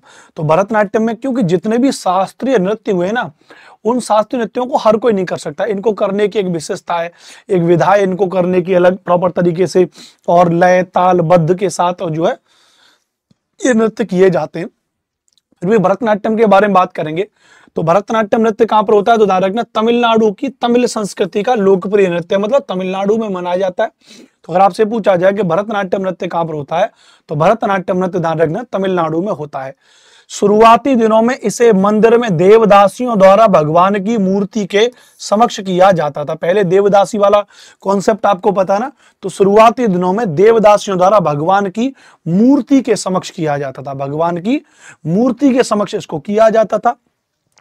ध्यान रखना जब ये आ, ये जो नृत्य है भरतनाट्यम नृत्य आरंभ होता है तो आला रिपु या स्तुति से मतलब जो इसका जो आरंभ होता है भरतनाट्यम का, उसको आला रिपु या स्तुति कहते हैं, और जब इसका जो अंत होता है तो उसको तिल्लाना कहते हैं नया पॉइंट है। ये नया पॉइंट है इंपॉर्टेंट है, ध्यान रखना कि भरतनाट्यम नृत्य का जब अंत होता है तो उसको तो हम क्या कहते हैं भैया? उसको हम लोग तिल्लाना कहते हैं, और इसका जो आरंभ है, उसको हम लोग आला रिपू कहते हैं। क्या कहते हैं? आला रिपू कहते हैं। इसके प्रमुख कलाकार याद रखना तो यामिनी कृष्णमूर्ति, सोनल मानसिंह मृणालिनी साराभाई मल्लिका साराभाई ये सवाल पेपर में बनेगा ध्यान रखना। यामिनी कृष्णमूर्ति, सोनल मान सिंह मृणालिनी साराभाई मल्लिका साराभाई ये जो हो जाएँगे ध्यान रखना प्रमुख कलाकार हैं। किस चीज़ के प्रमुख कलाकार हैं भैया? तो ये जो ध्यान रखना भरतनाट्यम नृत्य के प्रमुख कलाकार हैं। भरतनाट्यम नृत्य के प्रमुख कलाकार ये हो जाएँगे, याद रखना। ठीक भैया? तो भरतनाट्यम नृत्य तमिलनाडु में होता है ध्यान रखना। देवदासियों के द्वारा शुरुआत में किया था। आला रिपू क्या है? जब स्तुति इसकी शुरू की जाती है, तब होता है। तिल्लाना क्या है? जब इसका अंत होता है। प्रमुख कलाकारों में यामिनी कृष्णमूर्ति, सोनल मान सिंह मरणालिनी साराभाई, मल्लिका साराभाई इसके प्रमुख कलाकार हो जाएँगे। नंबर दो पर हम बात करेंगे, कथकली के बारे में बात करेंगे। इस तरीके से आपने मुखौटा पहने हुए, बहुत से लोगों को नृत्य करते हुए देखा होगा। तो जो कथकली याद रखना, यह केरल का शास्त्रीय नृत्य कथकली केरल के स्थानीय लोक नाटक, जो केरल का एक स्थानीय लोक नाटक कुडियाटम और कृष्णाटम इसके प्रेरणा स्रोत है। मतलब इससे और जो इनको प्रेरणा मिली ध्यान रखना, है ना? कुडियाटम और कृष्णाटम इसना पढ़ लेना कि केरल के जो स्थानीय लोक नाटक हैं, केरल में दो कुडियाट्टम, कृष्णाट्टम, इसके प्रेरणा स्रोत हैं, ध्यान रखना। The local folk dramas, dramas of Kerala Kudiyattam and Krishnattam are the source of its inspiration इसकी और जो है उसके स्रोत हैं। इसमें नर्तक द्वारा रामायण, महाभारत और पुराणों के चरित्रों का अभिनय किया जाता है, जो उसके चरित्र है, रावण है उसमें, या उसमें जो नाम दे रखे हैं, उनकी तरह पोशाक वोशाक पहन के जैसा ज़िक्र मिला है हमारे रामायणों में। रावण के सर दस सिर होते थे तो इस तरीके से लोग कल दस सिर बाँध ले जाएँगे, उस तरीके से वो अभिनय करते हैं ध्यान रखना। तो कौन सा वो नृत्य है जिस नृत्य में अगर हम आपसे बात करेंगे इस नृत्य में तो रामायण, महाभारत और पुराणों के चरित्रों का अभिनय रखना। इसमें दो प्रकार के नायक होते हैं। एक तो होता है पाचा, एक होता है खलनायक, जिसको खती कहते हैं। नायक का मतलब क्या है?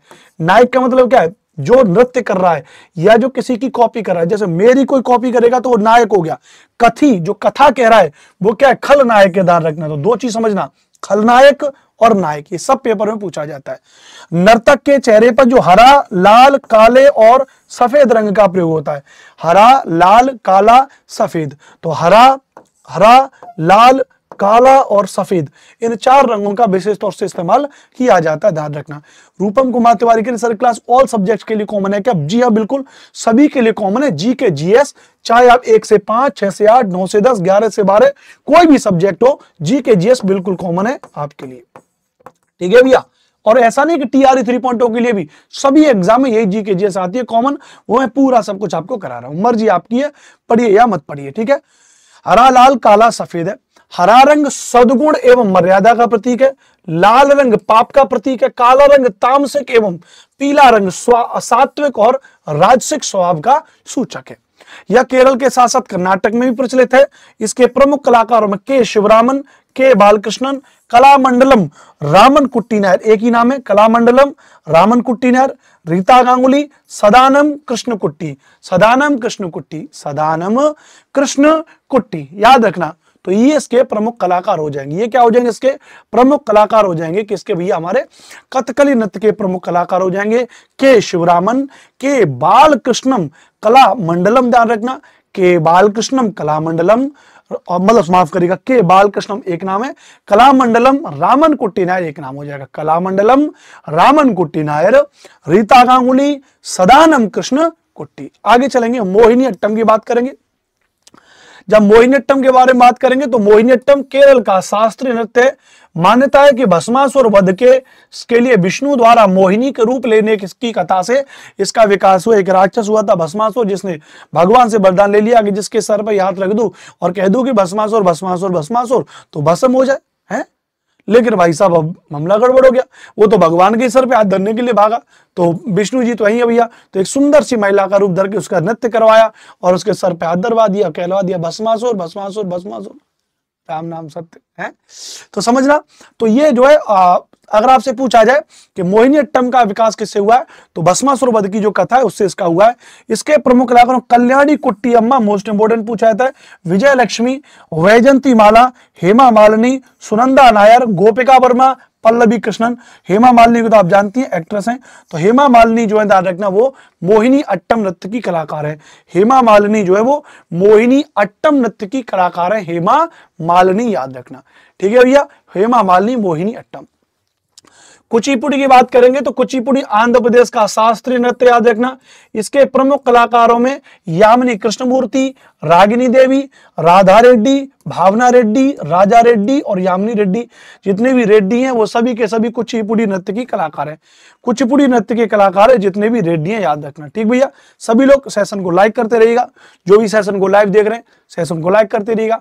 और अगर पॉसिबल है तो इस क्लास को अपने दोस्तों तक प्लीज़ एक बार शेयर करें, ताकि अधिक से अधिक बच्चे हमारी क्लास में जुड़े।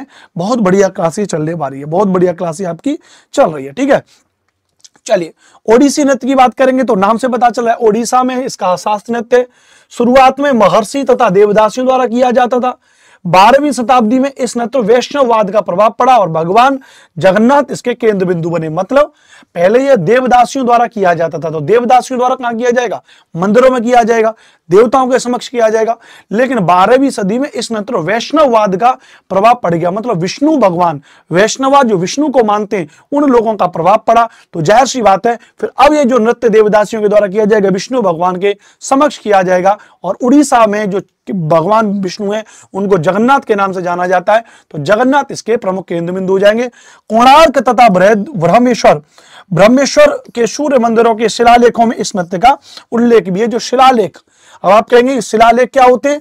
पत्थरों पर कुछ चीज़ लिख दी गई, वो क्या कहलाई भैया? शिलालेख कहलाई। तो कोणार्क तथा ब्रह्मेश्वर के सूर्य मंदिरों के शिलालेखों में इस नृत्य का उल्लेख है। यह भगवान कृष्ण की प्रचलित कथाओं के आधार पर किया जाता है। प्रमुख कलाकारों में Sonal Mansingh Guru Pankaj Charandas most important है पेपर में पूछा गया गुरु पंकज चरणदास, केलू चरण मोहपात्रा, मीनाती मिश्रा, कुमकुम मोहंती, माधवी मुदगल और अदिति बंदोपाध्याय अदिति बंदोपाध्याय। प्रमुख कलाकारों में सोनल मान सिंह गुरु पंकज चरण दास केलू चरण मोपात्रा मीनाती मिश्रा, कुमकुम मोहंती, माधवी मुदगल या अदिति बंदोपाध्याय। अदिति बंदो उपाध्याय तो ये इसके प्रमुख हो जाएँगे। मणिपुरी नृत्य की अगर हम बात करेंगे तो मणिपुरी नृत्य क्या है? मणिपुर का शास्त्रीय नृत्य ध्यान रखना। और इसके बारे में इसका विकास 18वीं शताब्दी में वैष्णव संप्रदाय के साथ हुआ। वैष्णव विष्णु वाली उसी पीढ़ी में उसका विकास हुआ। वैष्णव संप्रदाय मतलब जो विष्णु को मानने वाला संप्रदाय, जो कम्युनिटी है, उसमें ढोल इस नृत्य की आत्मा है नर्तक द्वारा घुंगरू का प्रयोग नहीं किया जाता। मोस्ट इंपोर्टेंट है, बिना घुंगरू के डांस किया जाता है। नृत्य के विभिन्न रूपों में रासलीला, संकीर्तन थांगटाए आगे बताऊँगा इनके बारे में। प्रमुख कलाकारों में झावेरी बहने झावेरी क्या है? टाइटल हो जाएगा इसका। झावेरी क्या हो जाएगा? टाइटल हो जाएगा भैया। साउंड नहीं है क्या क्लास में भाई। क्लास में साउंड नहीं आ रहा कि एक बार बताइए। सुषमा कुमारी जी कमेंट करिए कि क्लास में साउंड नहीं है। भाई ऐसा कैसे हो सकता है?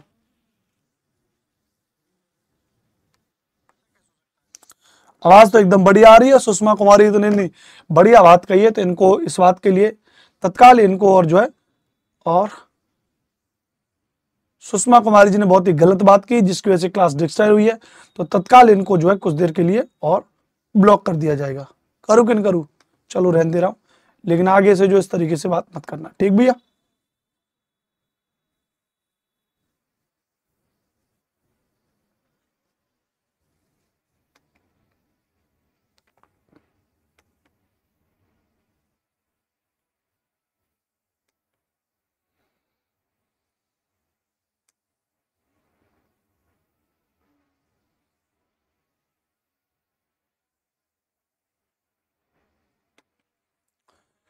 चलो खैर, आगे बढ़ते हैं, ठीक है भैया?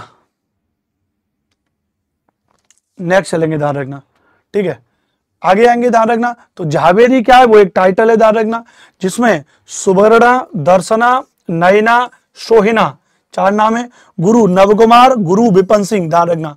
तो गुरु नव कुमार गुरु विपन सिंह लिखोगे, याद करोगे, तभी बनेगी। आसानी से भैया याद नहीं होगी।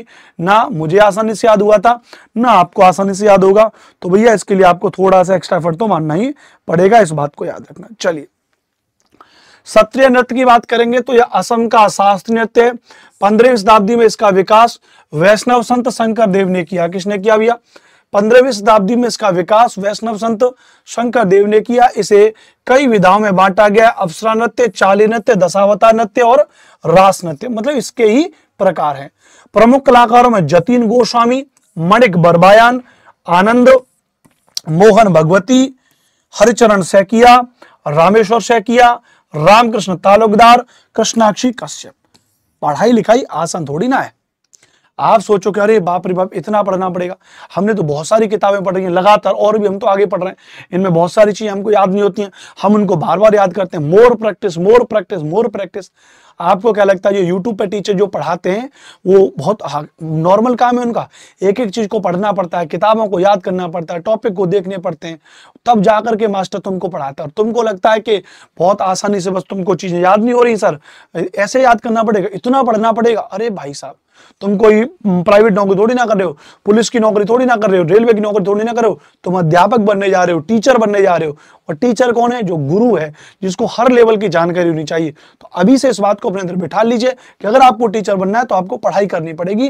बिना पढ़ाई के थोड़ी ना ये कोई ये कोई नौकरी थोड़ी ना है कि काम चलाओ के लिए नौकरी कर लो। टीचर बनने का मतलब है कि आपको अपने अंदर उस चीज़ को लेकर के आएगा। है ना? चलिए भैया। कथक नृत्य की अगर बात करेंगे ध्यान रखना तो यह उत्तर प्रदेश का शास्त्रीय नृत्य है। वर्तमान में यह राजस्थान, मध्य प्रदेश में भी प्रचलित है। है ना? मैंने आपको बता दिया था, बिहार भी इसमें मेंशन कर सकते हैं। उत्तर प्रदेश की ब्रजभूमि में रासलीला परंपरा से जुड़ा है। केंद्र में राधा कृष्ण की अवधारणा मौजूद है। कथक का उद्भव कथा शब्द से हुआ है, जिसका शब्द करते कथा कहना। पहले इसको कथा कहते थे, वहीं से इसका हो गया। इसे नटवरी नृत्य भी कहा जाता है, ध्यान रखना। इसे नटवरी नृत्य भी कहा जाता है। शास्त्रीय नृत्य में कथक का संबंध ईरानी एवं मुस्लिम संस्कृति से भी है। शास्त्रीय नृत्य में कथक का संबंध ईरानी एवं मुस्लिम संस्कृति का इस पर प्रभाव पड़ा है। इसके प्रमुख घराने जयपुर, लखनऊ, बनारस और रायगढ़ घराना। वैसे तो इसके छह घराने लेकिन फ़िलहाल जयपुर, लखनऊ, बनारस, रायगढ़, दिल्ली भी इसमें शामिल है। लिख लेना। तो छह घराने ध्यान रखना इसके। अगर मैं बात करूँ एक बार एक बार मगर मैं देखू कि कथक के प्रमुख घराने कौन कौन से ध्यान रखना। कथक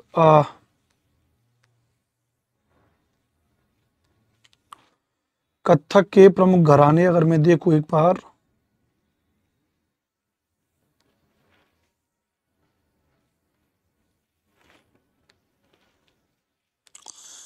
चलिए तो दार अभी गूगल पे दिखा नहीं रहा इतने लिख ली, जयपुर, लखनऊ, बनारस, इसके प्रमुख घराने। प्रमुख कलाकारों में ईश्वरी प्रसाद, दुर्गा प्रसाद, लक्ष्मू महाराज, शंभू महाराज, बिरजू महाराज, सितारा देवी, पंडित जयलाल, पंडित सीताराम प्रसाद, गिरजा देवी, जिनको ठुमरी क्वीन कहते हैं, और शोभना नारायण। ये इसके प्रमुख कौन हो जाएँगे भैया? कलाकार हो जाएँगे। ये कौन हो जाएँगे भैया इसके? ये इसके प्रमुख कलाकार हो जाएँगे, याद रखना। कौन हो जाएँगे भैया? तो ये इसके जो है, याद रखना, प्रमुख कलाकार हो जाएँगे, ठीक है? चलिए, एक बार फिर से याद रखेंगे तो भरतनाट्यम कहा होगा? तमिलनाडु में होगा भैया, कुचिपुड़ी का होगा? आंध्र प्रदेश में होगा, कथकली का होगा? केरल में होगा, मोहिनीअट्टम का होगा? केरल में ओडिसी नृत्य, ओडिशा में मणिपुरी नृत्य, मणिपुर में कथक नृत्य, उत्तर प्रदेश में सत्रिय नृत्य कहा हो जाएगा? असम में। सत्य नृत्य कहा हो जाएगा? असम में। भारत के प्रमुख लोक नृत्य भी याद रख लेते हैं, भारत के प्रमुख लोक नृत्य भी याद रख लेते हैं। कौन कौन से लोक नृत्य हैं? जैसे याद रखना गरबा कहाँ पर होता है? गुजरात में, डांडिया रास नृत्य गुजरात में तरंग मेल गोवा में, घूमर या गंगोर कहते हैं राजस्थान में, ये घूमर है ध्यान रखना घूमर, है ना? कालबेलिया, राजस्थान में चारबा हिमाचल प्रदेश में, भागड़ा या गिद्दा, पंजाब में, दादरा, उत्तर प्रदेश में जवारा मध्य प्रदेश में, गौरमारिया, छत्तीसगढ़ में, गौरमारिया, छत्तीसगढ़ में याद रखना, ये भारत के प्रमुख लोक नृत्य हो जाएँगे। ये भारत के प्रमुख लोक नृत्य हो जाएँगे गरबा, गुजरात, डांडिया रास गुजरात, तरंगमेल, गोवा घुमर या गंगोर, राजस्थान कालवेली या राजस्थान, चारवा हिमाचल प्रदेश बांगड़ा या गिद्दा, पंजाब, दादरा, उत्तर प्रदेश जवारा मध्य प्रदेश, गौरमारिया, छत्तीसगढ़। गौरमारिया, छत्तीसगढ़। अब आपसे सवाल पूछा जाए बताओ कि दादरा लोकनृत्य किस राज्य से संबंधित है? बताओ भैया। दादरा लोकनृत्य किस राज्य से संबंधित है? इस तरीके से अगर आपसे सवाल कभी बन जाए पेपर में कि दादरा लोकनृत्य किससे संबंधित है, बताओ। तो आपको पता है उत्तर प्रदेश से संबंधित है। दादरा लोकनृत्य क्या बताया था? तो दादरा बताया था ना उत्तर प्रदेश से। तो दादरा किससे? भैया, उत्तर प्रदेश से हो जाएगा, ठीक है? चलिए। आलकाप जिसको झूमर कहते हैं तो ध्यान रखना, ये झूमर झारखंड में, ये झूमर है और ये घूमर है, अंतर है। घूमर राजस्थान में होगा और झूमर झारखंड में होगा। बिरहा, जो जिसको जाट जाट नृत्य कहते हैं, बिहार में, आपके में बिरहा होता है। पाइका या डंडा यात्रा उड़ीसा में होगा। बागुरुम्बा या बिहू नृत्य असम में होगा, थांगटा नृत्य मणिपुर में होगा, कुम्मी नृत्य तमिलनाडु में, बुट्टा बोमालू नृत्य आंध्र प्रदेश में कई कोट्टिकली या पडयानी केरल में, कोलकली केरल लक्षद्वीप में, झूमर पंजाब में। झूमर झूमर अंतर है, झूमर पंजाब में भी एक होता है, झूमर झारखंड में होता है, घूमर राजस्थान में होता है, ध्यान रखना। ठीक है भैया? चलिए क्लियर भैया? आगे बात करें। जैसे सवाल पूछ लिया जाए कि बताओ, बागुरम्बा किस राज्य का लोक नृत्य है? बागुरुम्बा किस राज्य का लोक नृत्य अगर आपसे पूछा जाए तो बताओ। तो बागुरुम्बा किस राज्य का हो जाएगा? असम का, झारखंड का, मणिपुर का, केरल का। तो बागुरुम्बा किसका हो जाएगा? असम का हो जाएगा, ध्यान रखना। बागुरुम्बा किस राज्य का लोक नृत्य हो जाएगा? तो बागुरुम्बा असम राज्य का हो जाएगा लोक नृत्य याद रखना। कर्मा नृत्य छोटा नागपुर की पठार की जनजातियों के द्वारा होगा। राउत नाच, यादव समुदाय, छत्तीसगढ़ दुमहल नृत्य, वट्ठल जनजाति द्वारा जम्मू कश्मीर में।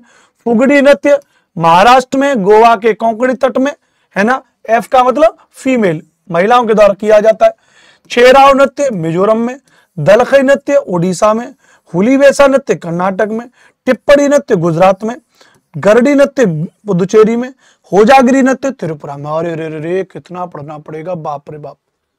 मास्टर बनोगे, थोड़ा सा अपने दिमाग को ज़्यादा लेके जाओ, ज़्यादा किताब पढ़ो। मेरे लाइब्रेरी में यहाँ पे कम से कम सौ, डेढ़ सौ, दो सौ किताब रखी होंगी, और पता नहीं कितनी पढ़ा, किताब पढ़ ली। फिर भी हमेशा ऐसा लगता है कि मैं कुछ नहीं आता, मुझे कुछ नहीं आता, हमेशा ऐसा लगता है। जितना पढ़ोगे उतना होगा, ठीक है? चलिए। सर, कितने टाइम से मैं वेट कर रही थी? आपका आपका बैक पेन कैसा है कहाँ कृतिका थोड़ा सा रिलैक्स है। अभी थोड़ा सा रिलैक्स है, ठीक है? चलिए, छत्तीसगढ़ के यादव जनजाति के द्वारा कौन सा नृत्य किया जाता है? आपको बताना होगा भैया। तो आपको पता राउत नृत्य। तो राउत नाच किसके द्वारा किया जाएगा? तो छत्तीसगढ़ के यादव जनजाति द्वारा किया जाने वाला नाच कौन सा है? तो राउत नाच हो जाएगा याद रखना, ठीक है? चलिए तो ये आपके खत्म हुए हुई है सारे नृत्य पूरी पीडीएफ आपको भेज दूँगा, टेंशन मत लीजिएगा। ये पूरी पीडीएफ मैं आपको अपने टेलीग्राम चैनल पे भेज दूँगा एस एस टी वाई इनपम सर टेलीग्राम चैनल है, उस पर मैं आपको भेज दूँगा, ठीक है? तो ये तो रहे प्रमुख नृत्य। अब उसके बाद, अब इसके बाद हम जिस चीज़ पर आएँगे, ध्यान रखना। अब उसके बाद क्या प्रमुख वाद्य यंत्र, शास्त्रीय नृत्य, प्रमुख दिवस हो गए। अब हम आएँगे, ध्यान रखना, एक टॉपिक को, जिसको हम कहते हैं भारत के अद्भुत मठ। भारत में कुछ प्रमुख मठ हैं। मठ समझते हो ना, जो बौद्ध धर्म से रिलेटेड है, उनको एक बार याद कर लेते हैं। भारत के प्रमुख मठ कौन कौन से हैं? तो wonderful monasteries of India monasteries बोलते हैं। मठों को हम क्या बोलते हैं भैया? तो मठों को हम बोलते हैं मोनेस्ट्रीज बोलते हैं, ध्यान रखना। मठों को हम क्या बोलते हैं भैया? तो मठों को हम लोग मोनेस्ट्रीज बोलते हैं, ध्यान रखना, ठीक है? प्रमुख मोनेस्ट्रीज के बारे में पढ़ेंगे अब।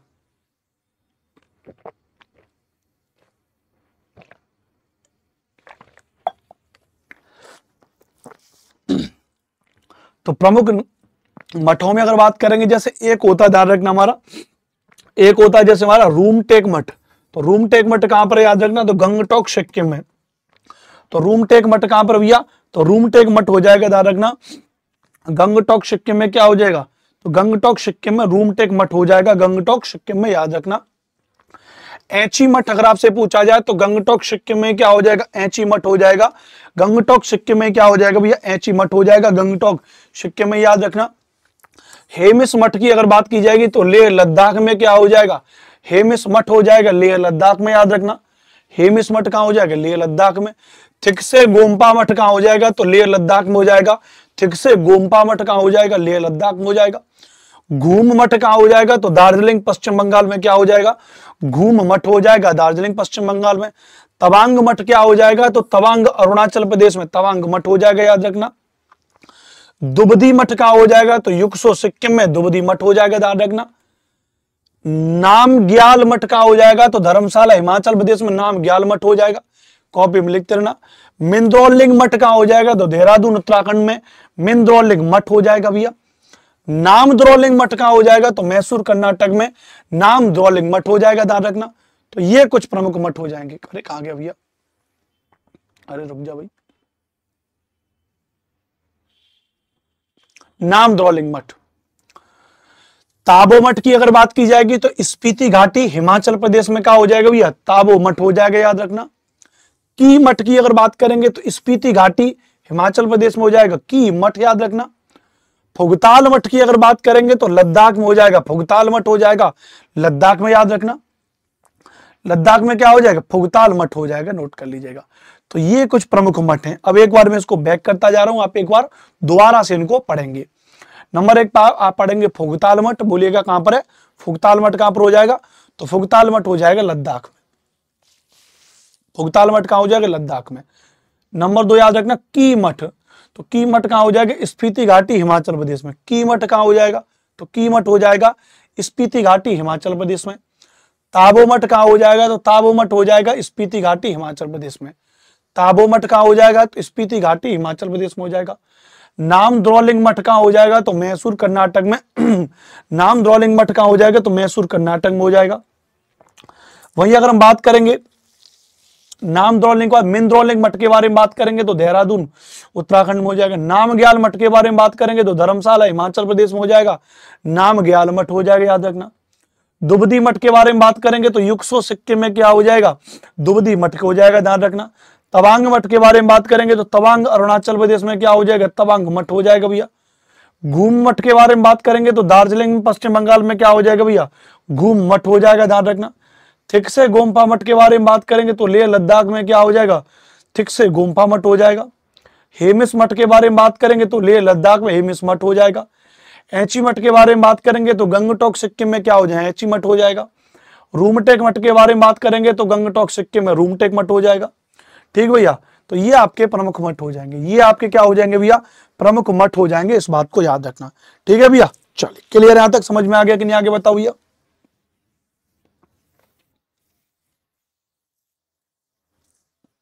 बताओ, क्लियर है? प्रमुख मठ आपको याद हो गया भैया?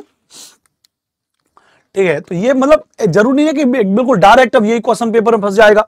मतलब इस लेवल के क्वेश्चन जो पेपर में फंसते ही फंसते मैं बहुत सारे टॉपिक के कंटेंट आज आपके लिए बनाया हुआ धीरे धीरे आपको मैं पढ़ा दूँगा। तीन टॉपिक तो मैंने आपको करा दिए। देख लो तीन टॉपिक भारत के अद्भुत मठ करा दिए, प्रमुख वाद्य यंत्र शास्त्रीय नृत्य करा दिए, प्रमुख दिवस करा दिए। अब हम पढ़ेंगे, अब हम पढ़ते हैं क्या भैया? बुक्स के बारे में पढ़ेंगे। कुछ बुक्स हैं महत्वपूर्ण, कुछ किताबें हैं। उन किताबों को पढ़ते हैं भैया। हम किसको पढ़ेंगे भैया?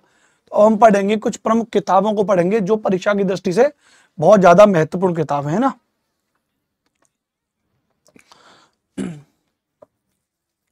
इंपोर्टिंग फ़ाइल अब हम यहाँ पर पढ़ने वाले हैं बुक्स और ऑथर के बारे में पढ़ने वाले हैं।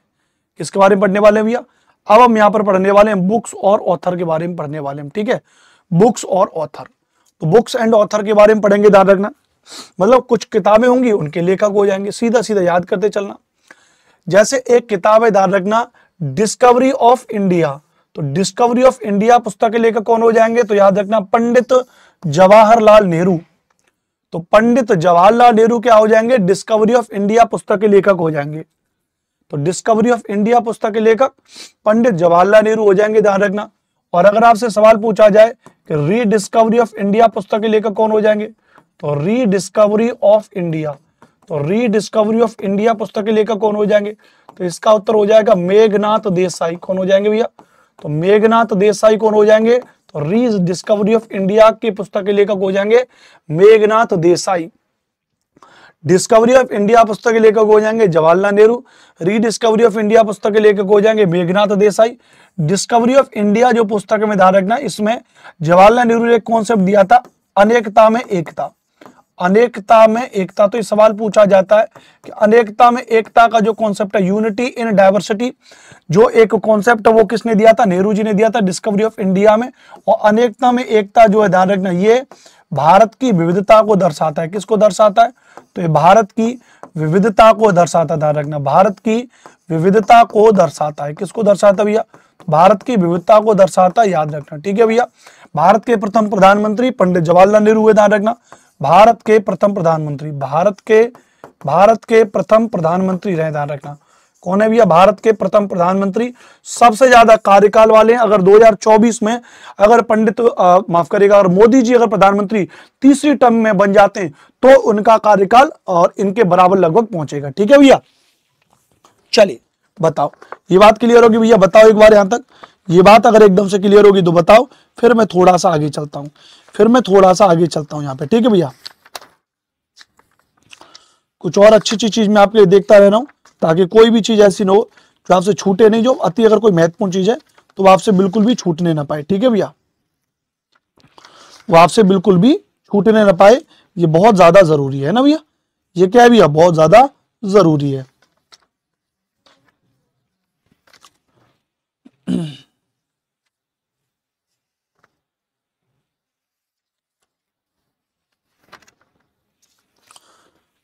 हाँ मैं इसी के बारे में कर था, जवाहरलाल नेहरू का जो समाधि स्थल है ध्यान रखना उसको शांति वन कहते हैं। जवाहरलाल नेहरू का, जवाहरलाल नेहरू का जो समाधि स्थल है, जवाहरलाल नेहरू का जो समाधि स्थल है, याद रखना, जवाहरलाल नेहरू का जो समाधि स्थल है, उसको हम लोग शांति वन कहते हैं। क्या कहते हैं उसको? तो उसको हम लोग शांति वन कहते हैं ध्यान रखना तो जवाहरलाल नेहरू का जो समाधि स्थल है, उसको हम लोग क्या कहते हैं भैया? तो उसको हम लोग शांति वन कहते हैं, ये मैं सर्च करा था, मिल गया, ठीक है? चलिए। दूसरी पुस्तक आ गई रीडिस्कवरी ऑफ़ इंडिया पुस्तक आ गई ध्यान रखना। तो रीडिस्कवरी ऑफ़ इंडिया पुस्तक के लेकर कौन हो जाएँगे भैया? मेघनाथ देसाई हो जाएँगे। रीडिस्कवरी ऑफ़ इंडिया पुस्तक के कौन हो जाएँगे भैया? मेघनाथ देसाई हो जाएँगे। एक किताब है, मुद्रा राक्षस, जो संस्कृत में लिखित है, ध्यान रखना, इसके लेकर कौन हो जाएँगे बोलो? विशाख दत्त। मुद्रा राक्षस के कौन हो जाएँगे भैया? विशाख दत्त हो जाएँगे। मुद्रा राक्षस के कौन हो जाएँगे? विशाख दत्त हो जाएँगे। देखना चाहोगे मुद्रा राक्षस? कहा भैया मुद्रा राक्षस होनी तो चाहिए, मैंने मंगाई तो थी हाँ। मुद्रा राक्षस, ये देखो, ये किताब मैंने पढ़ी भी है। ये किताब जो है मैंने पढ़ी हुई है ध्यान रखना आप देखोगे तो यहाँ पे ये दे रखा है मुद्रा राक्षस। तो ये जो किताब है ना, मुद्रा राक्षस विशाख दत्त की मैं लेके भी आया हूँ। लेकिन अब टाइम ही नहीं इसको मिल पाया कि कब इसको पढ़ू मैं। मतलब थोड़ी थोड़ी से पढ़ लिए। लेकिन पूरी तरीके से टाइम नहीं मिल पाया। तो किताबें खरीदने का और पढ़ने का मुझे बड़ा शौक है। शायद आपके पास ये किताब नहीं होगी तो मुद्रा राक्षस के लेकर कौन हो जाएँगे? तो विशाख दत्त हो जाएँगे। आगे चलेंगे। ट्रेन टू पाकिस्तान, एक पुस्तक है रखना, ट्रेन टू पाकिस्तान। एक पुस्तक है history of Sikh, the mark of Vishnu and other story, the voice of God and other story. Khushwant Singh के द्वारा लिखी क्या? खुशवंत सिंह के द्वारा। The voice of God and other story the mark of Vishnu and other story history of Sikh train to Pakistan ये किसके द्वारा लिखी गई है? तो ध्यान रखना, ये खुशवंत सिंह के द्वारा लिखी गई है। किसके द्वारा लिखी गई खुशवंत सिंह के द्वारा लिखी है। प्रमोद कुमार मंडल कहना सर, कितना टाइम होगा और क्लास थोड़ी देर और होगी क्लास भैया।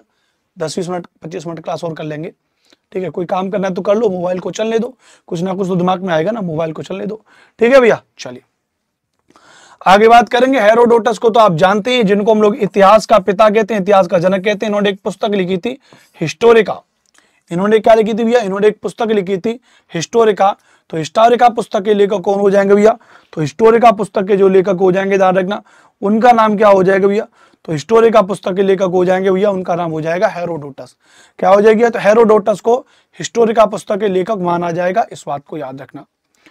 अगले सवाल की बात करेंगे, इंडिका के बारे में बात करेंगे तो मैगस्थनीस, जिसको जिसने मौर्य समाज का वर्णन किया है, उसकी पुस्तक का नाम क्या हो जाएगा? इंडिका हो जाएगा, ध्यान रखना। क्या हो जाएगा? इंडिका हो जाएगा। मैगस्थनीस आया कहाँ से था, ध्यान रखना। तो मैगस्थनीस, ध्यान रखना, ये सेल्यूकस निकेटर का राजदूत था। क्या था, भैया? तो ये सेल्यूकस निकेटर का राजदूत था। क्या था भैया? तो ये सेल्यूकस निकेटर का राजदूत था। क्या था? तो सेल्यूकस निकेटर का राजदूत था, ध्यान रखना। क्या था भैया? सेल्यूकस निकेटर का राजदूत था मैगस्थनीस याद रखना। तो मैगस्थनीस क्या हो जाएगा भैया? तो मैगस्थनी जो था, वो सेल्यूकस निकेटर का राजदूत था, इस बात को याद रखना। आगे बात करेंगे अर्थशास्त्र। अर्थशास्त्र। अच्छा आपको पता, मैगस्थनी सेल्यूकस निकेटर का राजदूत तो था ही था, लेकिन अगर आपसे पूछा है किसके दरबार में आया था तो आपको पता है चंद्रगुप्त मौर्य के दरबार में आया था। किसके दरबार में आया था? चंद्रगुप्त मौर्य के दरबार में आया था, इस बात को ध्यान रखना। चंद्रगुप्त मौर्य के दरबार में आया था मैगस्थनीस ठीक है भैया? चलिए। अर्थशास्त्र के लेखक कौन हो जाएँगे? तो चाणक्य हो जाएँगे। मौर्यकालीन प्रशासन की जानकारी मिलती है, ध्यान रखना। मौर्यकालीन प्रशासन की जानकारी मिलती है, अर्थशास्त्र याद रखना। ठीक है भैया, बताइए।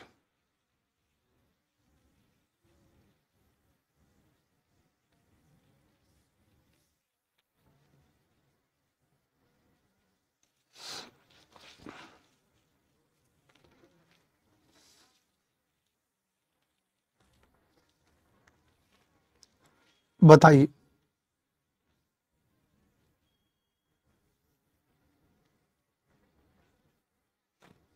ठीक है भैया, बताइए क्लियर यहाँ पे?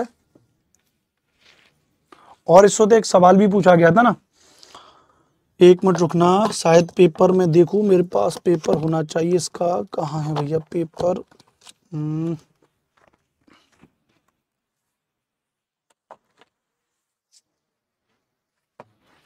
इससे एक सवाल भी पूछा गया था ना, एक मिनट रुक जाओ।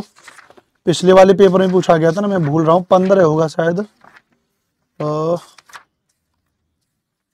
कौन सा, छब्बीस अगस्त है ना? अच्छा तो ज्योग्राफी का है।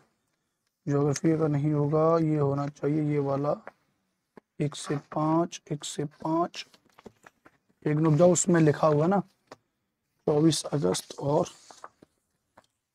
जिसकी ज़रूरत है, बस वही नहीं मिल रहा। आप भी बताओ अर्थशास्त्र को कितने भागों में लिखा गया है?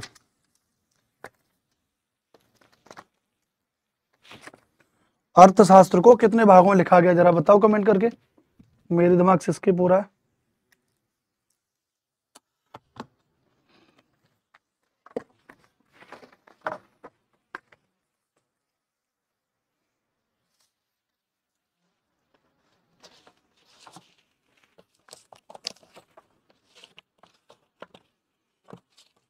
पेपर में भी आया, मैं आपको पेपर भी दिखा देता।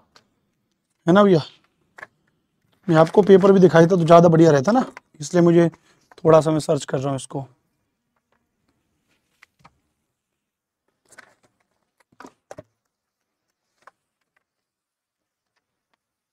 हाँ ये रहा, है ना? मिल गया।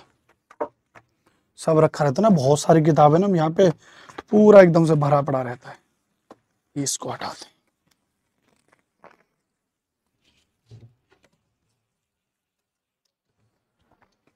ठीक है?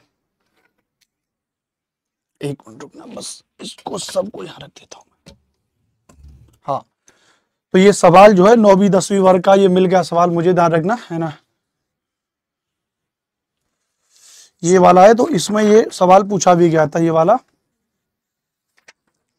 कौटिल्य का अर्थशास्त्र कितने अधिकरणों में विभाजित है? तो पंद्रह अधिकरणों में विभाजित है, ये सवाल पेपर में पूछा गया था। ये सवाल पेपर में पूछा गया था, नहीं। अरे वो तो अलग है। वो तो मुझे पता है। समष्टि और वो तो पता है मुझे। लेकिन कौटिल्य के अर्थशास्त्र की बात कर रहा हूँ, इसको कितने अधिकरणों में लिखा गया था, ये सवाल पेपर में पूछा गया ध्यान रखना। तो कौटिल्य का जो अर्थशास्त्र है, वो पंद्रह अधिकरणों में लिखा गया ध्यान रखना। कौटिल्य का अर्थशास्त्र कितने में भैया? तो कौटिल्य का अर्थशास्त्र पंद्रह अधिकरणों में लिखा गया, ये सवाल पेपर में पूछा भी गया ध्यान रखना। तो लिख लेना यहाँ पे कि कौटिल्य का अर्थशास्त्र कौटिल्य कौटिल्य का अर्थशास्त्र, कौटिल्य का अर्थशास्त्र पंद्रह अधिकरणों में लिखा गया है। पंद्रह अधिकरणों में। कितने में भैया? तो पंद्रह अधिकरणों में और इसको जो है लिखा गया, इस बात को ध्यान रखना। कितने में? पंद्रह अधिकरणों में विभाजित है मतलब। कौटिल्य का अर्थशास्त्र पंद्रह अधिकरणों में, पंद्रह अधिकरणों में विभाजित है। पंद्रह अधिकरणों में विभाजित है ध्यान रखना। ठीक है भैया? चलिए, आगे बात करेंगे, अगला सवाल।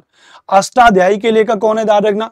तो अष्टाध्यायी ध्यान रखना, ये व्याकरण की बड़ी प्रमुख किताब मानी जाती है, पाणिनि महोदय के द्वारा लिखी गई है। अष्टाध्यायी किसके द्वारा लिखी गई है? तो अष्टाध्यायी ध्यान रखना किसके द्वारा लिखी गई है? पाणिनि महोदय के द्वारा लिखी गई है, अष्टाध्यायी ध्यान रखना पाणिनि महोदय के द्वारा। एक पुस्तक और पेपर में पूछी गई ध्यान रखना, किरातार्जुनी अगर आपसे पूछा जाए तो किरातार्जुनी पुस्तक किसके द्वारा लिखी है? भारवी के द्वारा ध्यान रखना। तो लिख लो, आगे लिखाऊँगा अभी, किरातार्जुनीय। तो किरातार्जुनीय। तो किरातार्जुनीय पुस्तक किसके द्वारा लिखी गई? भारवी के द्वारा लिखी गई ध्यान रखना किसके द्वारा? भारवी के द्वारा लिखी गई किरातार्जुनीय पुस्तक। कौन सी भैया? किरातार्जुनीय पुस्तक किसके द्वारा लिखी गई भैया? तो भारवी के द्वारा लिखी गई किरातार्जुनीय पुस्तक। अष्टाध्याय किसके द्वारा लिखी गई है? पाणनी के द्वारा लिखी गई है। अर्थशास्त्र किसके द्वारा लिखी गई है? चाणक्य या कौटल्य के द्वारा। कौटल्य का अर्थशास्त्र को पंद्रह अधिकरणों में विभाजित किया गया है। इंडिका को और ने लिखा है, ठीक है? चलिए। महाकाव्य को पतंजलि ने लिखा है। महाकाव्य नामक पुस्तक किसके द्वारा लिखी गई है? तो महाकाव्य नामक पुस्तक पतंजलि के द्वारा लिखी गई है। महाकाव्य पुस्तक किसके द्वारा लिखी गई है? तो महाकाव्य पुस्तक ध्यान रखना, पतंजलि के द्वारा लिखी गई है। वहीं कालिदास की रचना तो आपको पता है, रघुवंशम, मेघदूतम, कुमार संभवम अभिज्ञान शाकुंतलम, ऋतु संहार ऋतु संहार ध्यान रखना, ठीक है भैया? तो ये पुस्तक जो है किसके द्वारा लिखी गई है? कालिदास के द्वारा ये पुस्तक सारी की सारी लिखी गई है, ध्यान रखना। कालिदास के द्वारा, रघुवंशम, कुमार संभवम विक्रमोर वर्षियम लिखिए क्या? विक्रमोर वर्षियम भी को लिख लेना। विक्रमोर वर्षियम विक्रमोर विक्रमो वर्षियम, कैसे लिखेंगे, देख लेना। तो विक्रमोर वर्षियम भी कालिदास के द्वारा लिखी गई है तो ध्यान रखना, ठीक है भैया? ठीक है भैया? चलिए, आगे बात करेंगे। आगे देखेंगे तो आदि पुराण, जो जैन ग्रंथ ऋषभ देव के दस जन्मों का वर्णन जिसमें मिलता है ध्यान रखना। आदि पुराण एक पुस्तक है ध्यान रखना। कौन सी भैया? तो आदि पुराण एक पुस्तक है। बस आदि पुराण को किसने लिखा है? जिनसेन सूरी के द्वारा लिखा गया। जिनसेन के द्वारा लिखा गया, याद रखना। किसके द्वारा लिखा गया? जिनसेन के द्वारा लिखा गया। किसके द्वारा लिखा गया? जिनसेन के द्वारा लिखा गया है। तो आदि पुराण को किसके द्वारा लिखा गया? जिनसेन के द्वारा लिखा गया। और आदि पुराण जो एक जैन ग्रंथ है और इसमें ऋषभ देव के दस जन्मों का वर्णन किया गया। ऋषभ देव के दस जन्मों का वर्णन इसमें किया गया, ध्यान रखना। ऋषभ देव के दस जन्मों का वर्णन किया गया, ध्यान रखना। ठीक है? चलिए। चरक संहिता तो आपको पता है, पुराते महर्षि हुए चरक चरक संहिता भारतीय चिकित्सा का विश्वकोश कहा जाता है।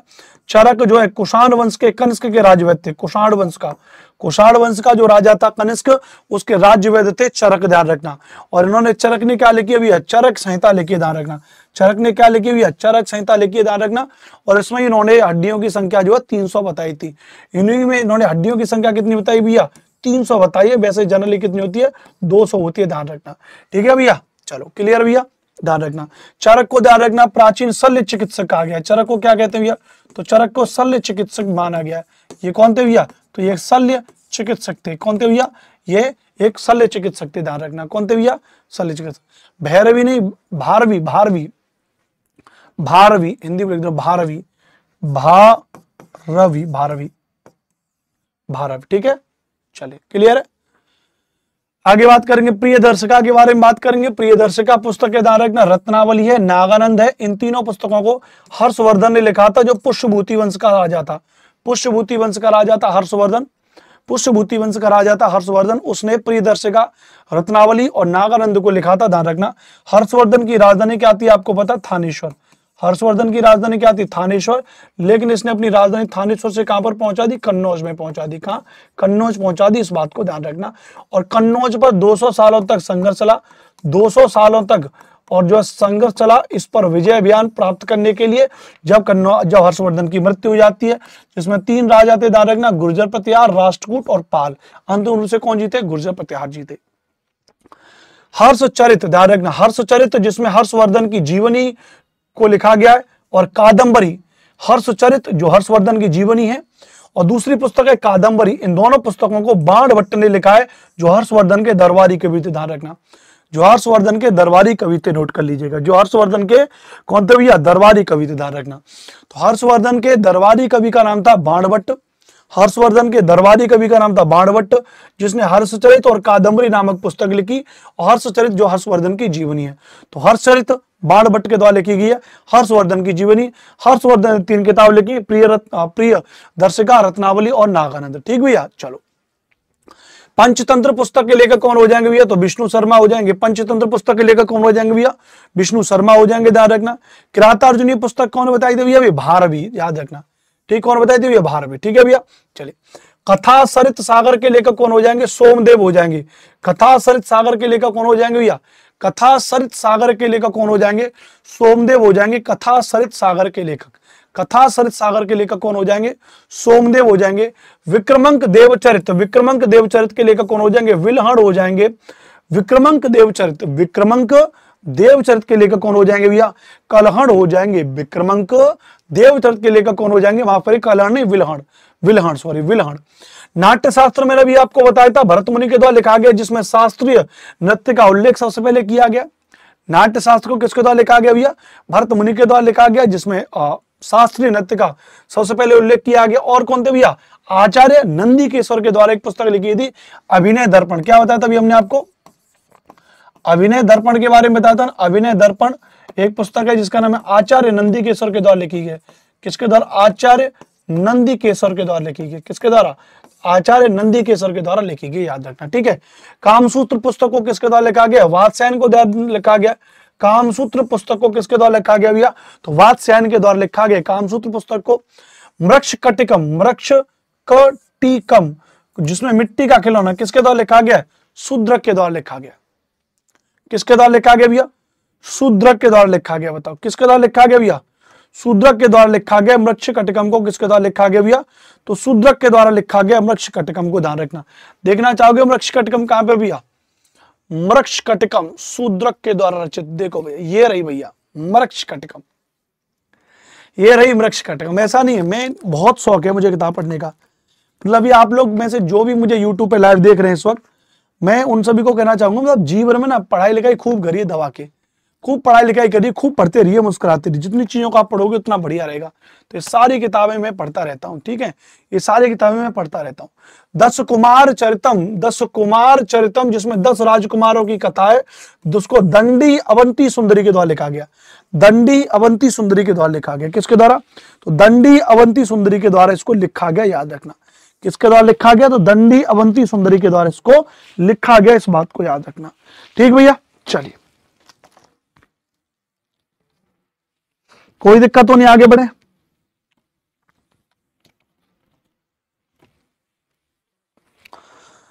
आगे बढ़ते हैं सब। अगला है मिताक्षरा। मिताक्षरा हिंदू कानून से संबंधित है, मिताक्षरा और इसको विज्ञानेश्वर के द्वारा लिखा गया।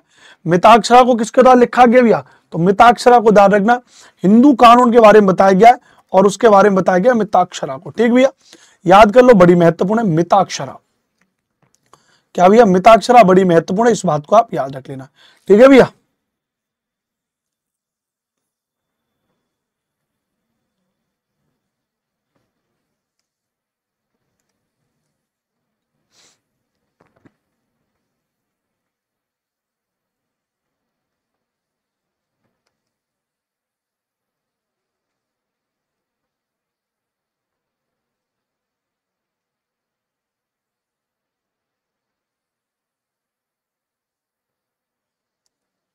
चलिए, बहुत बढ़िया।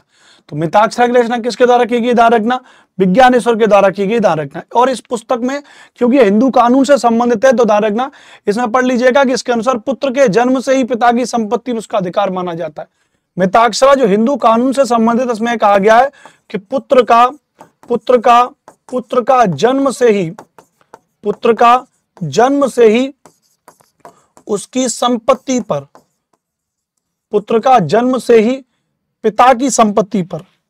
उसकी मतलब किसकी पिता की, आप जान ही रहे पिता की संपत्ति पर, उसकी संपत्ति पर अधिकार माना जाता है इस पुस्तक के अनुसार।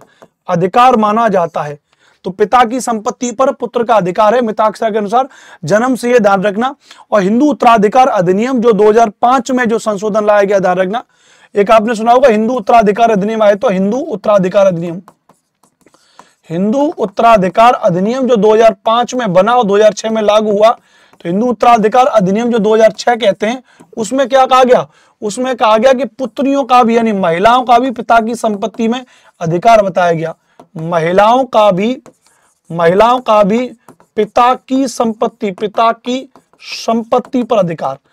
पिता की संपत्ति पर अधिकार। तो महिलाओं का भी पिता की संपत्ति पर अधिकार जो बताया गया, वो इसी पुस्तक के बिहार पे बताया गया, ध्यान रखना। और ये जो हिंदू उत्तराधिकार अधिनियम बना कब था? तो 1956 का अधिनियम है ध्यान रखना और इसको 2005 में इसको संशोधित करके और 2006 में इसको दोबारा से लागू किया गया, जिसका आधार क्या भैया? मिताक्षरा हो जाएगा, इस बात को ध्यान रखना। एक मिताक्षरा की जैसी एक और पुस्तक है, जिस पुस्तक का नाम याद रखना दाए भाग। याद रख लेना मेरे दोस्तों, बड़ी महत्वपूर्ण है। मिताक्षरा जैसी एक पुस्तक और है, जिसका नाम क्या हो जाएगा? दाएबाग, जिस पुस्तक को लिखा जी मुतवाहन के द्वारा, जी मुतवाहन जी मुतवाहन, ध्यान रखना। तो एक लेखक हुए हैं दाए भाग के, जिनका नाम है जी मुतवाहन, और ये कहते हैं, ध्यान रखना, कि पिता की मृत्यु के बाद ही पुत्र का संपत्ति पर अधिकार हो जाएगा। पिता की मृत्यु के बाद ही, ध्यान रखना, क्या? पिता की मृत्यु के बाद। तो पिता की मृत्यु के, पिता की मृत्यु के बाद ही पिता की मृत्यु के बाद ही बाद ही पुत्र का पुत्र का पुत्र का संपत्ति पर अधिकार माना जाएगा। पुत्र का संपत्ति पर अधिकार माना जाएगा। तो पुत्र का संपत्ति पर अधिकार माना जाएगा। ठीक भैया? चलो, दोनों तीनों चीज़ें याद हो गई तो एक बार कमेंट में यस लिख देना। एक बार कमेंट में यस लिख देना, अगर दोनों तीनों चीज़ें याद हो गई तो। ठीक है भैया? ये थोड़ा सा बेहतर रहेगा। बाकी आपकी मर्ज़ी भैया। ठीक? चलो। आगे चलेंगे ध्यान रखना बुद्ध चरित्र, जिसमें बुद्धों की रामायण जिसको कहते हैं, गौतम बुद्ध के जीवन का ज़िक्र किया गया ध्यान रखना उसको अश्वघोष के द्वारा लिखा गया, जो कनिष्क का राज कवि था। कनिष्क का राज कवि था अश्वघोष ध्यान रखना जिसने बुद्ध चरित्र लिखी है, जिसमें बुद्ध के चरित्र के बारे में बताया गया ध्यान रखना कनिष्क का ही, और ध्यान रखना कनिष्क का राजवैद कौन था? चरक। उसने चरक संहिता लिखी थी, नहीं। कुछ था ना ऐसा ही भूल गया कि मैं? हाँ कनिष्क ही तो राजवह थे चरक ठीक है? चलो, बहुत बढ़िया। आगे चलेंगे, ठीक है भैया? ध्यान रखना, ठीक है? आगे चलेंगे। कनिष्क, आपको पता ये सवाल तो पूछा जाता है पेपर में भी बताओ भैया। और जो रेशम मार्ग पर नियंत्रण स्थापित करने वाला शासक कौन था? तो रेशम मार्ग पर तो रेशम मार्ग पर नियंत्रण स्थापित करने वाला शासक तो रेशम मार्ग पर नियंत्रण स्थापित करने वाला जो शासक है, वो कौन था भैया? कनिष्क ध्यान रखना। शिल्पाधिकारम जो एक तमिल साहित्य की पुस्तक है, शिल्पाधिकारम, जिसको किसके द्वारा लिखा गया? इलांगो अडिगल के द्वारा लिखा गया। किसके द्वारा लिखा गया भैया? तो इलांगो अडिगल के द्वारा लिखा गया शिल्पाधिकारम पुस्तक। को किसके द्वारा भैया? शिल्पाधिकारम पुस्तक को किसके द्वारा लिखा गया भैया? इलांगो अडिगल के द्वारा लिखा गया, याद रखना। ठीक भैया? चलिए, आगे चले, बताओ भैया।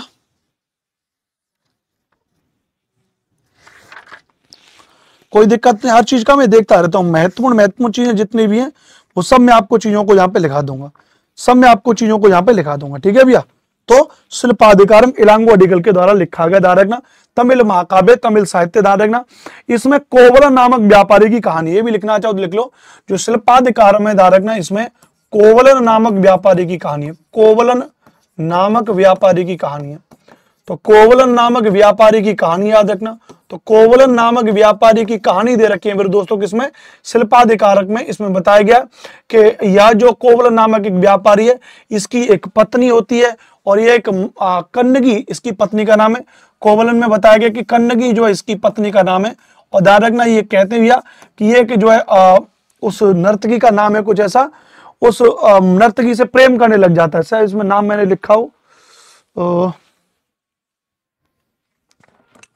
लिखा है क्या भैया? माधवी, है ना? हाँ माधवी। तो माधवी नामक एक नर्तकी से प्रेम करने लग जाता है। माधवी नामक नर्तकी। तो माधवी नामक नर्तकी से प्रेम करने लग जाता है। तो माधवी नामक नर्तकी से प्रेम करने लग जाता है। उसकी इसमें कहानी है, शिल्पाधिकार में ध्यान रखना। इसी के विपक्ष में इसके विपरीत में एक और किताब लिखी गई, ध्यान रखना। जिसका नाम क्या हो जाएगा? मणि मेखलई, ध्यान रखना। मणि मेखलई। तो मणि मेखलई अगर आपसे पूछा जाए तो मण मेखलई पुस्तक के लेखक कौन हो जाएँगे? ध्यान रखना। ये सब सवाल बीपीएससी में पूछे जा सकते हैं ध्यान रखना। तो मण मेखलई पुस्तक को लिखा गया ध्यान रखना। इसको लिखा गया शीतले सत्यनार के द्वारा। किसके द्वारा लिखा गया? शीतल सत्यनार शीतल सत्यनार शीतल सत्यनार के द्वारा।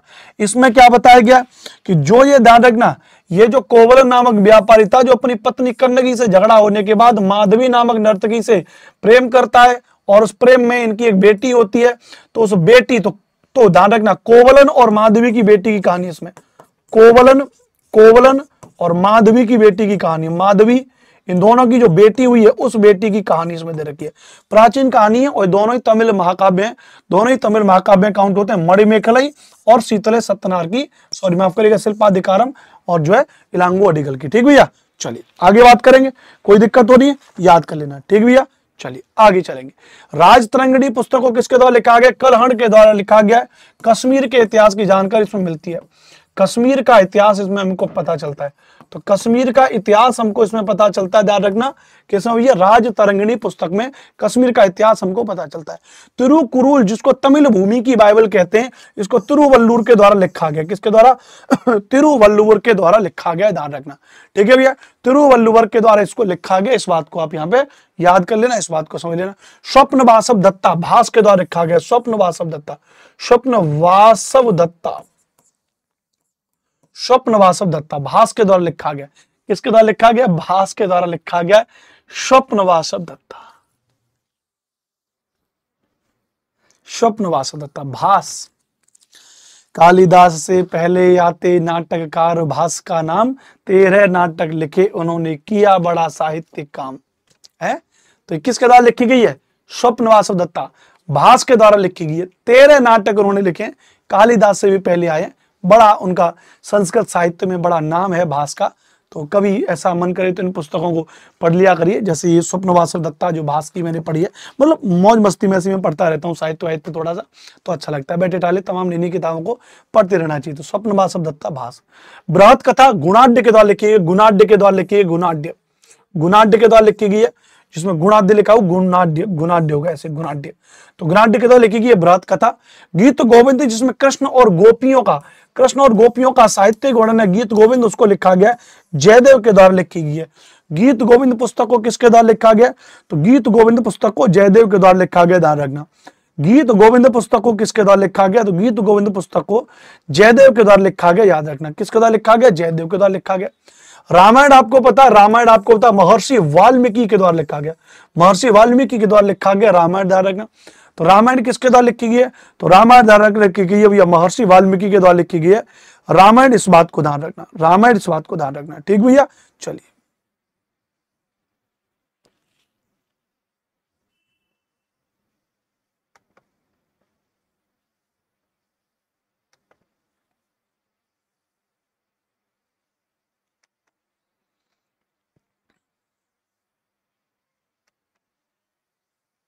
आगे चलें भैया।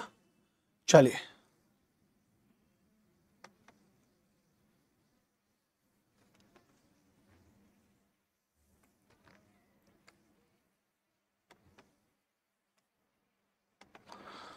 आगे देखेंगे, महाभारत के बारे में देखेंगे तो महाभारत का पुराना नाम क्या है? जय संहिता, ये बात ध्यान रखना।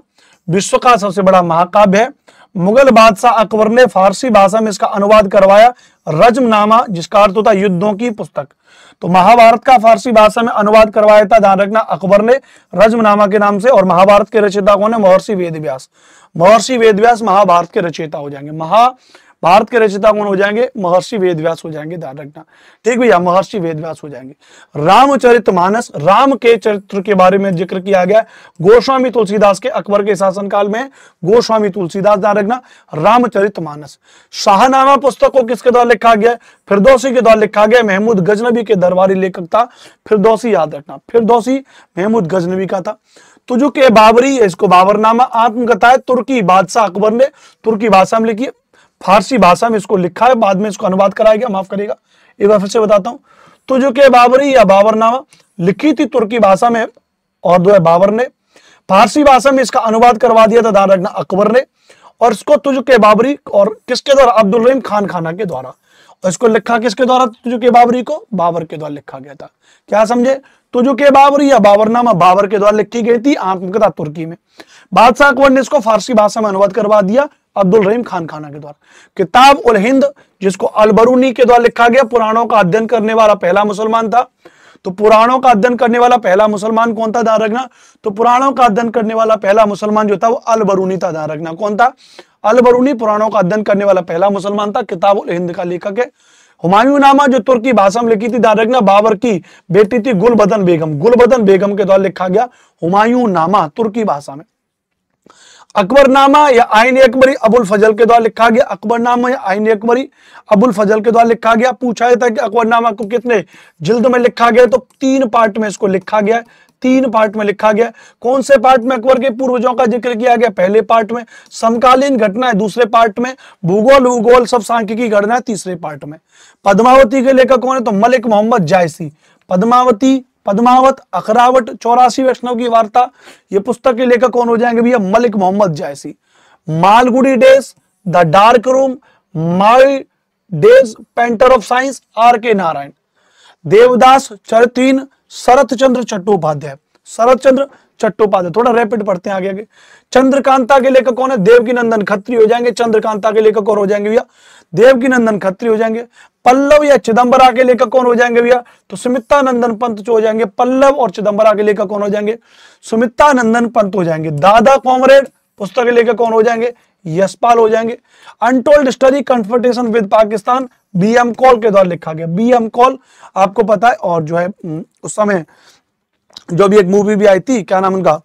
मोनिक शो उनके समय थे B M Kaul untold story है ना? कन्फर्टेशन विद पाकिस्तान ये बी एम कॉल के द्वारा लिखा गया डिवाइन लाइफ शिवानंद के द्वारा लिखी एक पुस्तक है divine life Sivananda India after Nehru judgement Kuldip Nayar. Kuldip Nayar के द्वारा लिखी गई है इंडिया आफ्टर नेहरू जजमेंट ध्यान रखना। गीत गोविंद के लेखक कौन हो जाएँगे भैया? जयदेव हो जाएँगे गीत गोविंद के लेखक। Area of darkness area of darkness पुस्तक को किसके द्वारा लिखा गया? वी एस नाइपोल के द्वारा लिखा गया। वी एस नाइपोल के द्वारा लिखा गया। वॉइस ऑफ़ फ्रीडम पुस्तक को किसके द्वारा लिखा गया? Nayantara Sahgal. Voice of freedom पुस्तक को लिखा गया नयन तारा सहगल के द्वारा। डेथ ऑफ़ अ सिटी कागज़ थे कैनवास, फोर्टी नाइन डेज़, ये पुस्तक अमृता प्रीतम के द्वारा लिखी गई। अमृता प्रीतम अमृता प्रीतम को आप जानते हैं, अमृता प्रीतम को भी है। अमृता प्रीतम मतलब बहुत अच्छी और और ये बहुत अच्छी चीज़ें लिखी अमृता प्रीतम के द्वारा। मुझे इनकी और काफ़ी अच्छी लगती है। इनका एक अच्छी किताब भी मेरे पास है, अमृता प्रीतम। मैं तुम्हें फिर मिलूँगी। बहुत अच्छी शायर भी रही है, बहुत अच्छी लेखिका हुई है, अमृता प्रीतम। ठीक भैया? चलिए। आगे चलेंगे अमृता प्रीतम, ठीक है? इनकी एक किताब और भी मेरे पास में अमृता प्रीतम की, जिसका नाम है रसीदी टिकट। रसीदी टिकट, एक ये भी अमृता प्रीतम की है भी। रसीदी टिकट, ये भी मेरे पास है। पढ़ते रहना चाहिए, कहने का मतलब ये कुल मिलाकर के। ठीक है भैया? खूब पढ़ो, खूब बढ़ो, आगे चलो। ठीक भैया? चलिए, आगे बात करेंगे। ऐसे अब इतना आप जिद कर रहे हो, कह रहे हो कि सर और दिखा दो तो अमृता प्रीतम की मेरे पास एक किताब और है, दस्तावेज़। अरे बाप रे। खूब सारी किताब पढ़ता हूँ मैं। सारा दिन पढ़ाई पढ़ाई के अलावा दूसरा कोई नहीं, मेरे पास ऑप्शन भारत भारती, ये धारकना मैत्री शरण गुप्त के द्वारा लिखी गई भारत भारती। भारत भारती किसके द्वारा लिखी गई है? मैत्री शरण गुप्त के द्वारा लिखी गई भारत भारती धार रखना इस बात को याद रखना, इस बात को समझ लेना भैया। ठीक भैया? भारत और भारती। कोई दिक्कत तो नहीं भैया?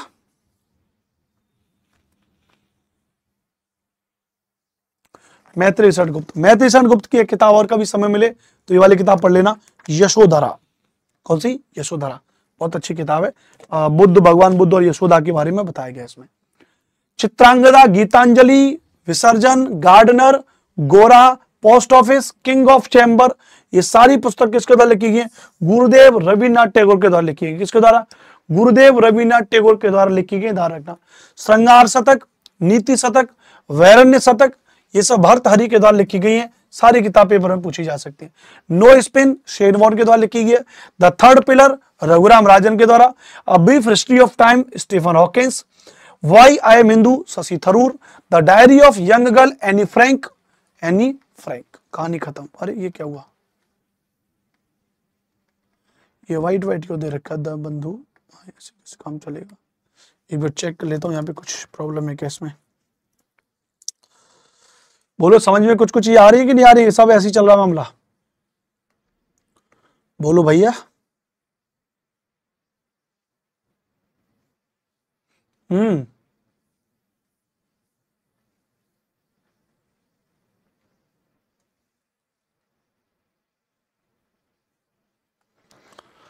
आना चाहिए इसमें। कोई बात नहीं, इसमें दिक्कत है कुछ पीपीटी में।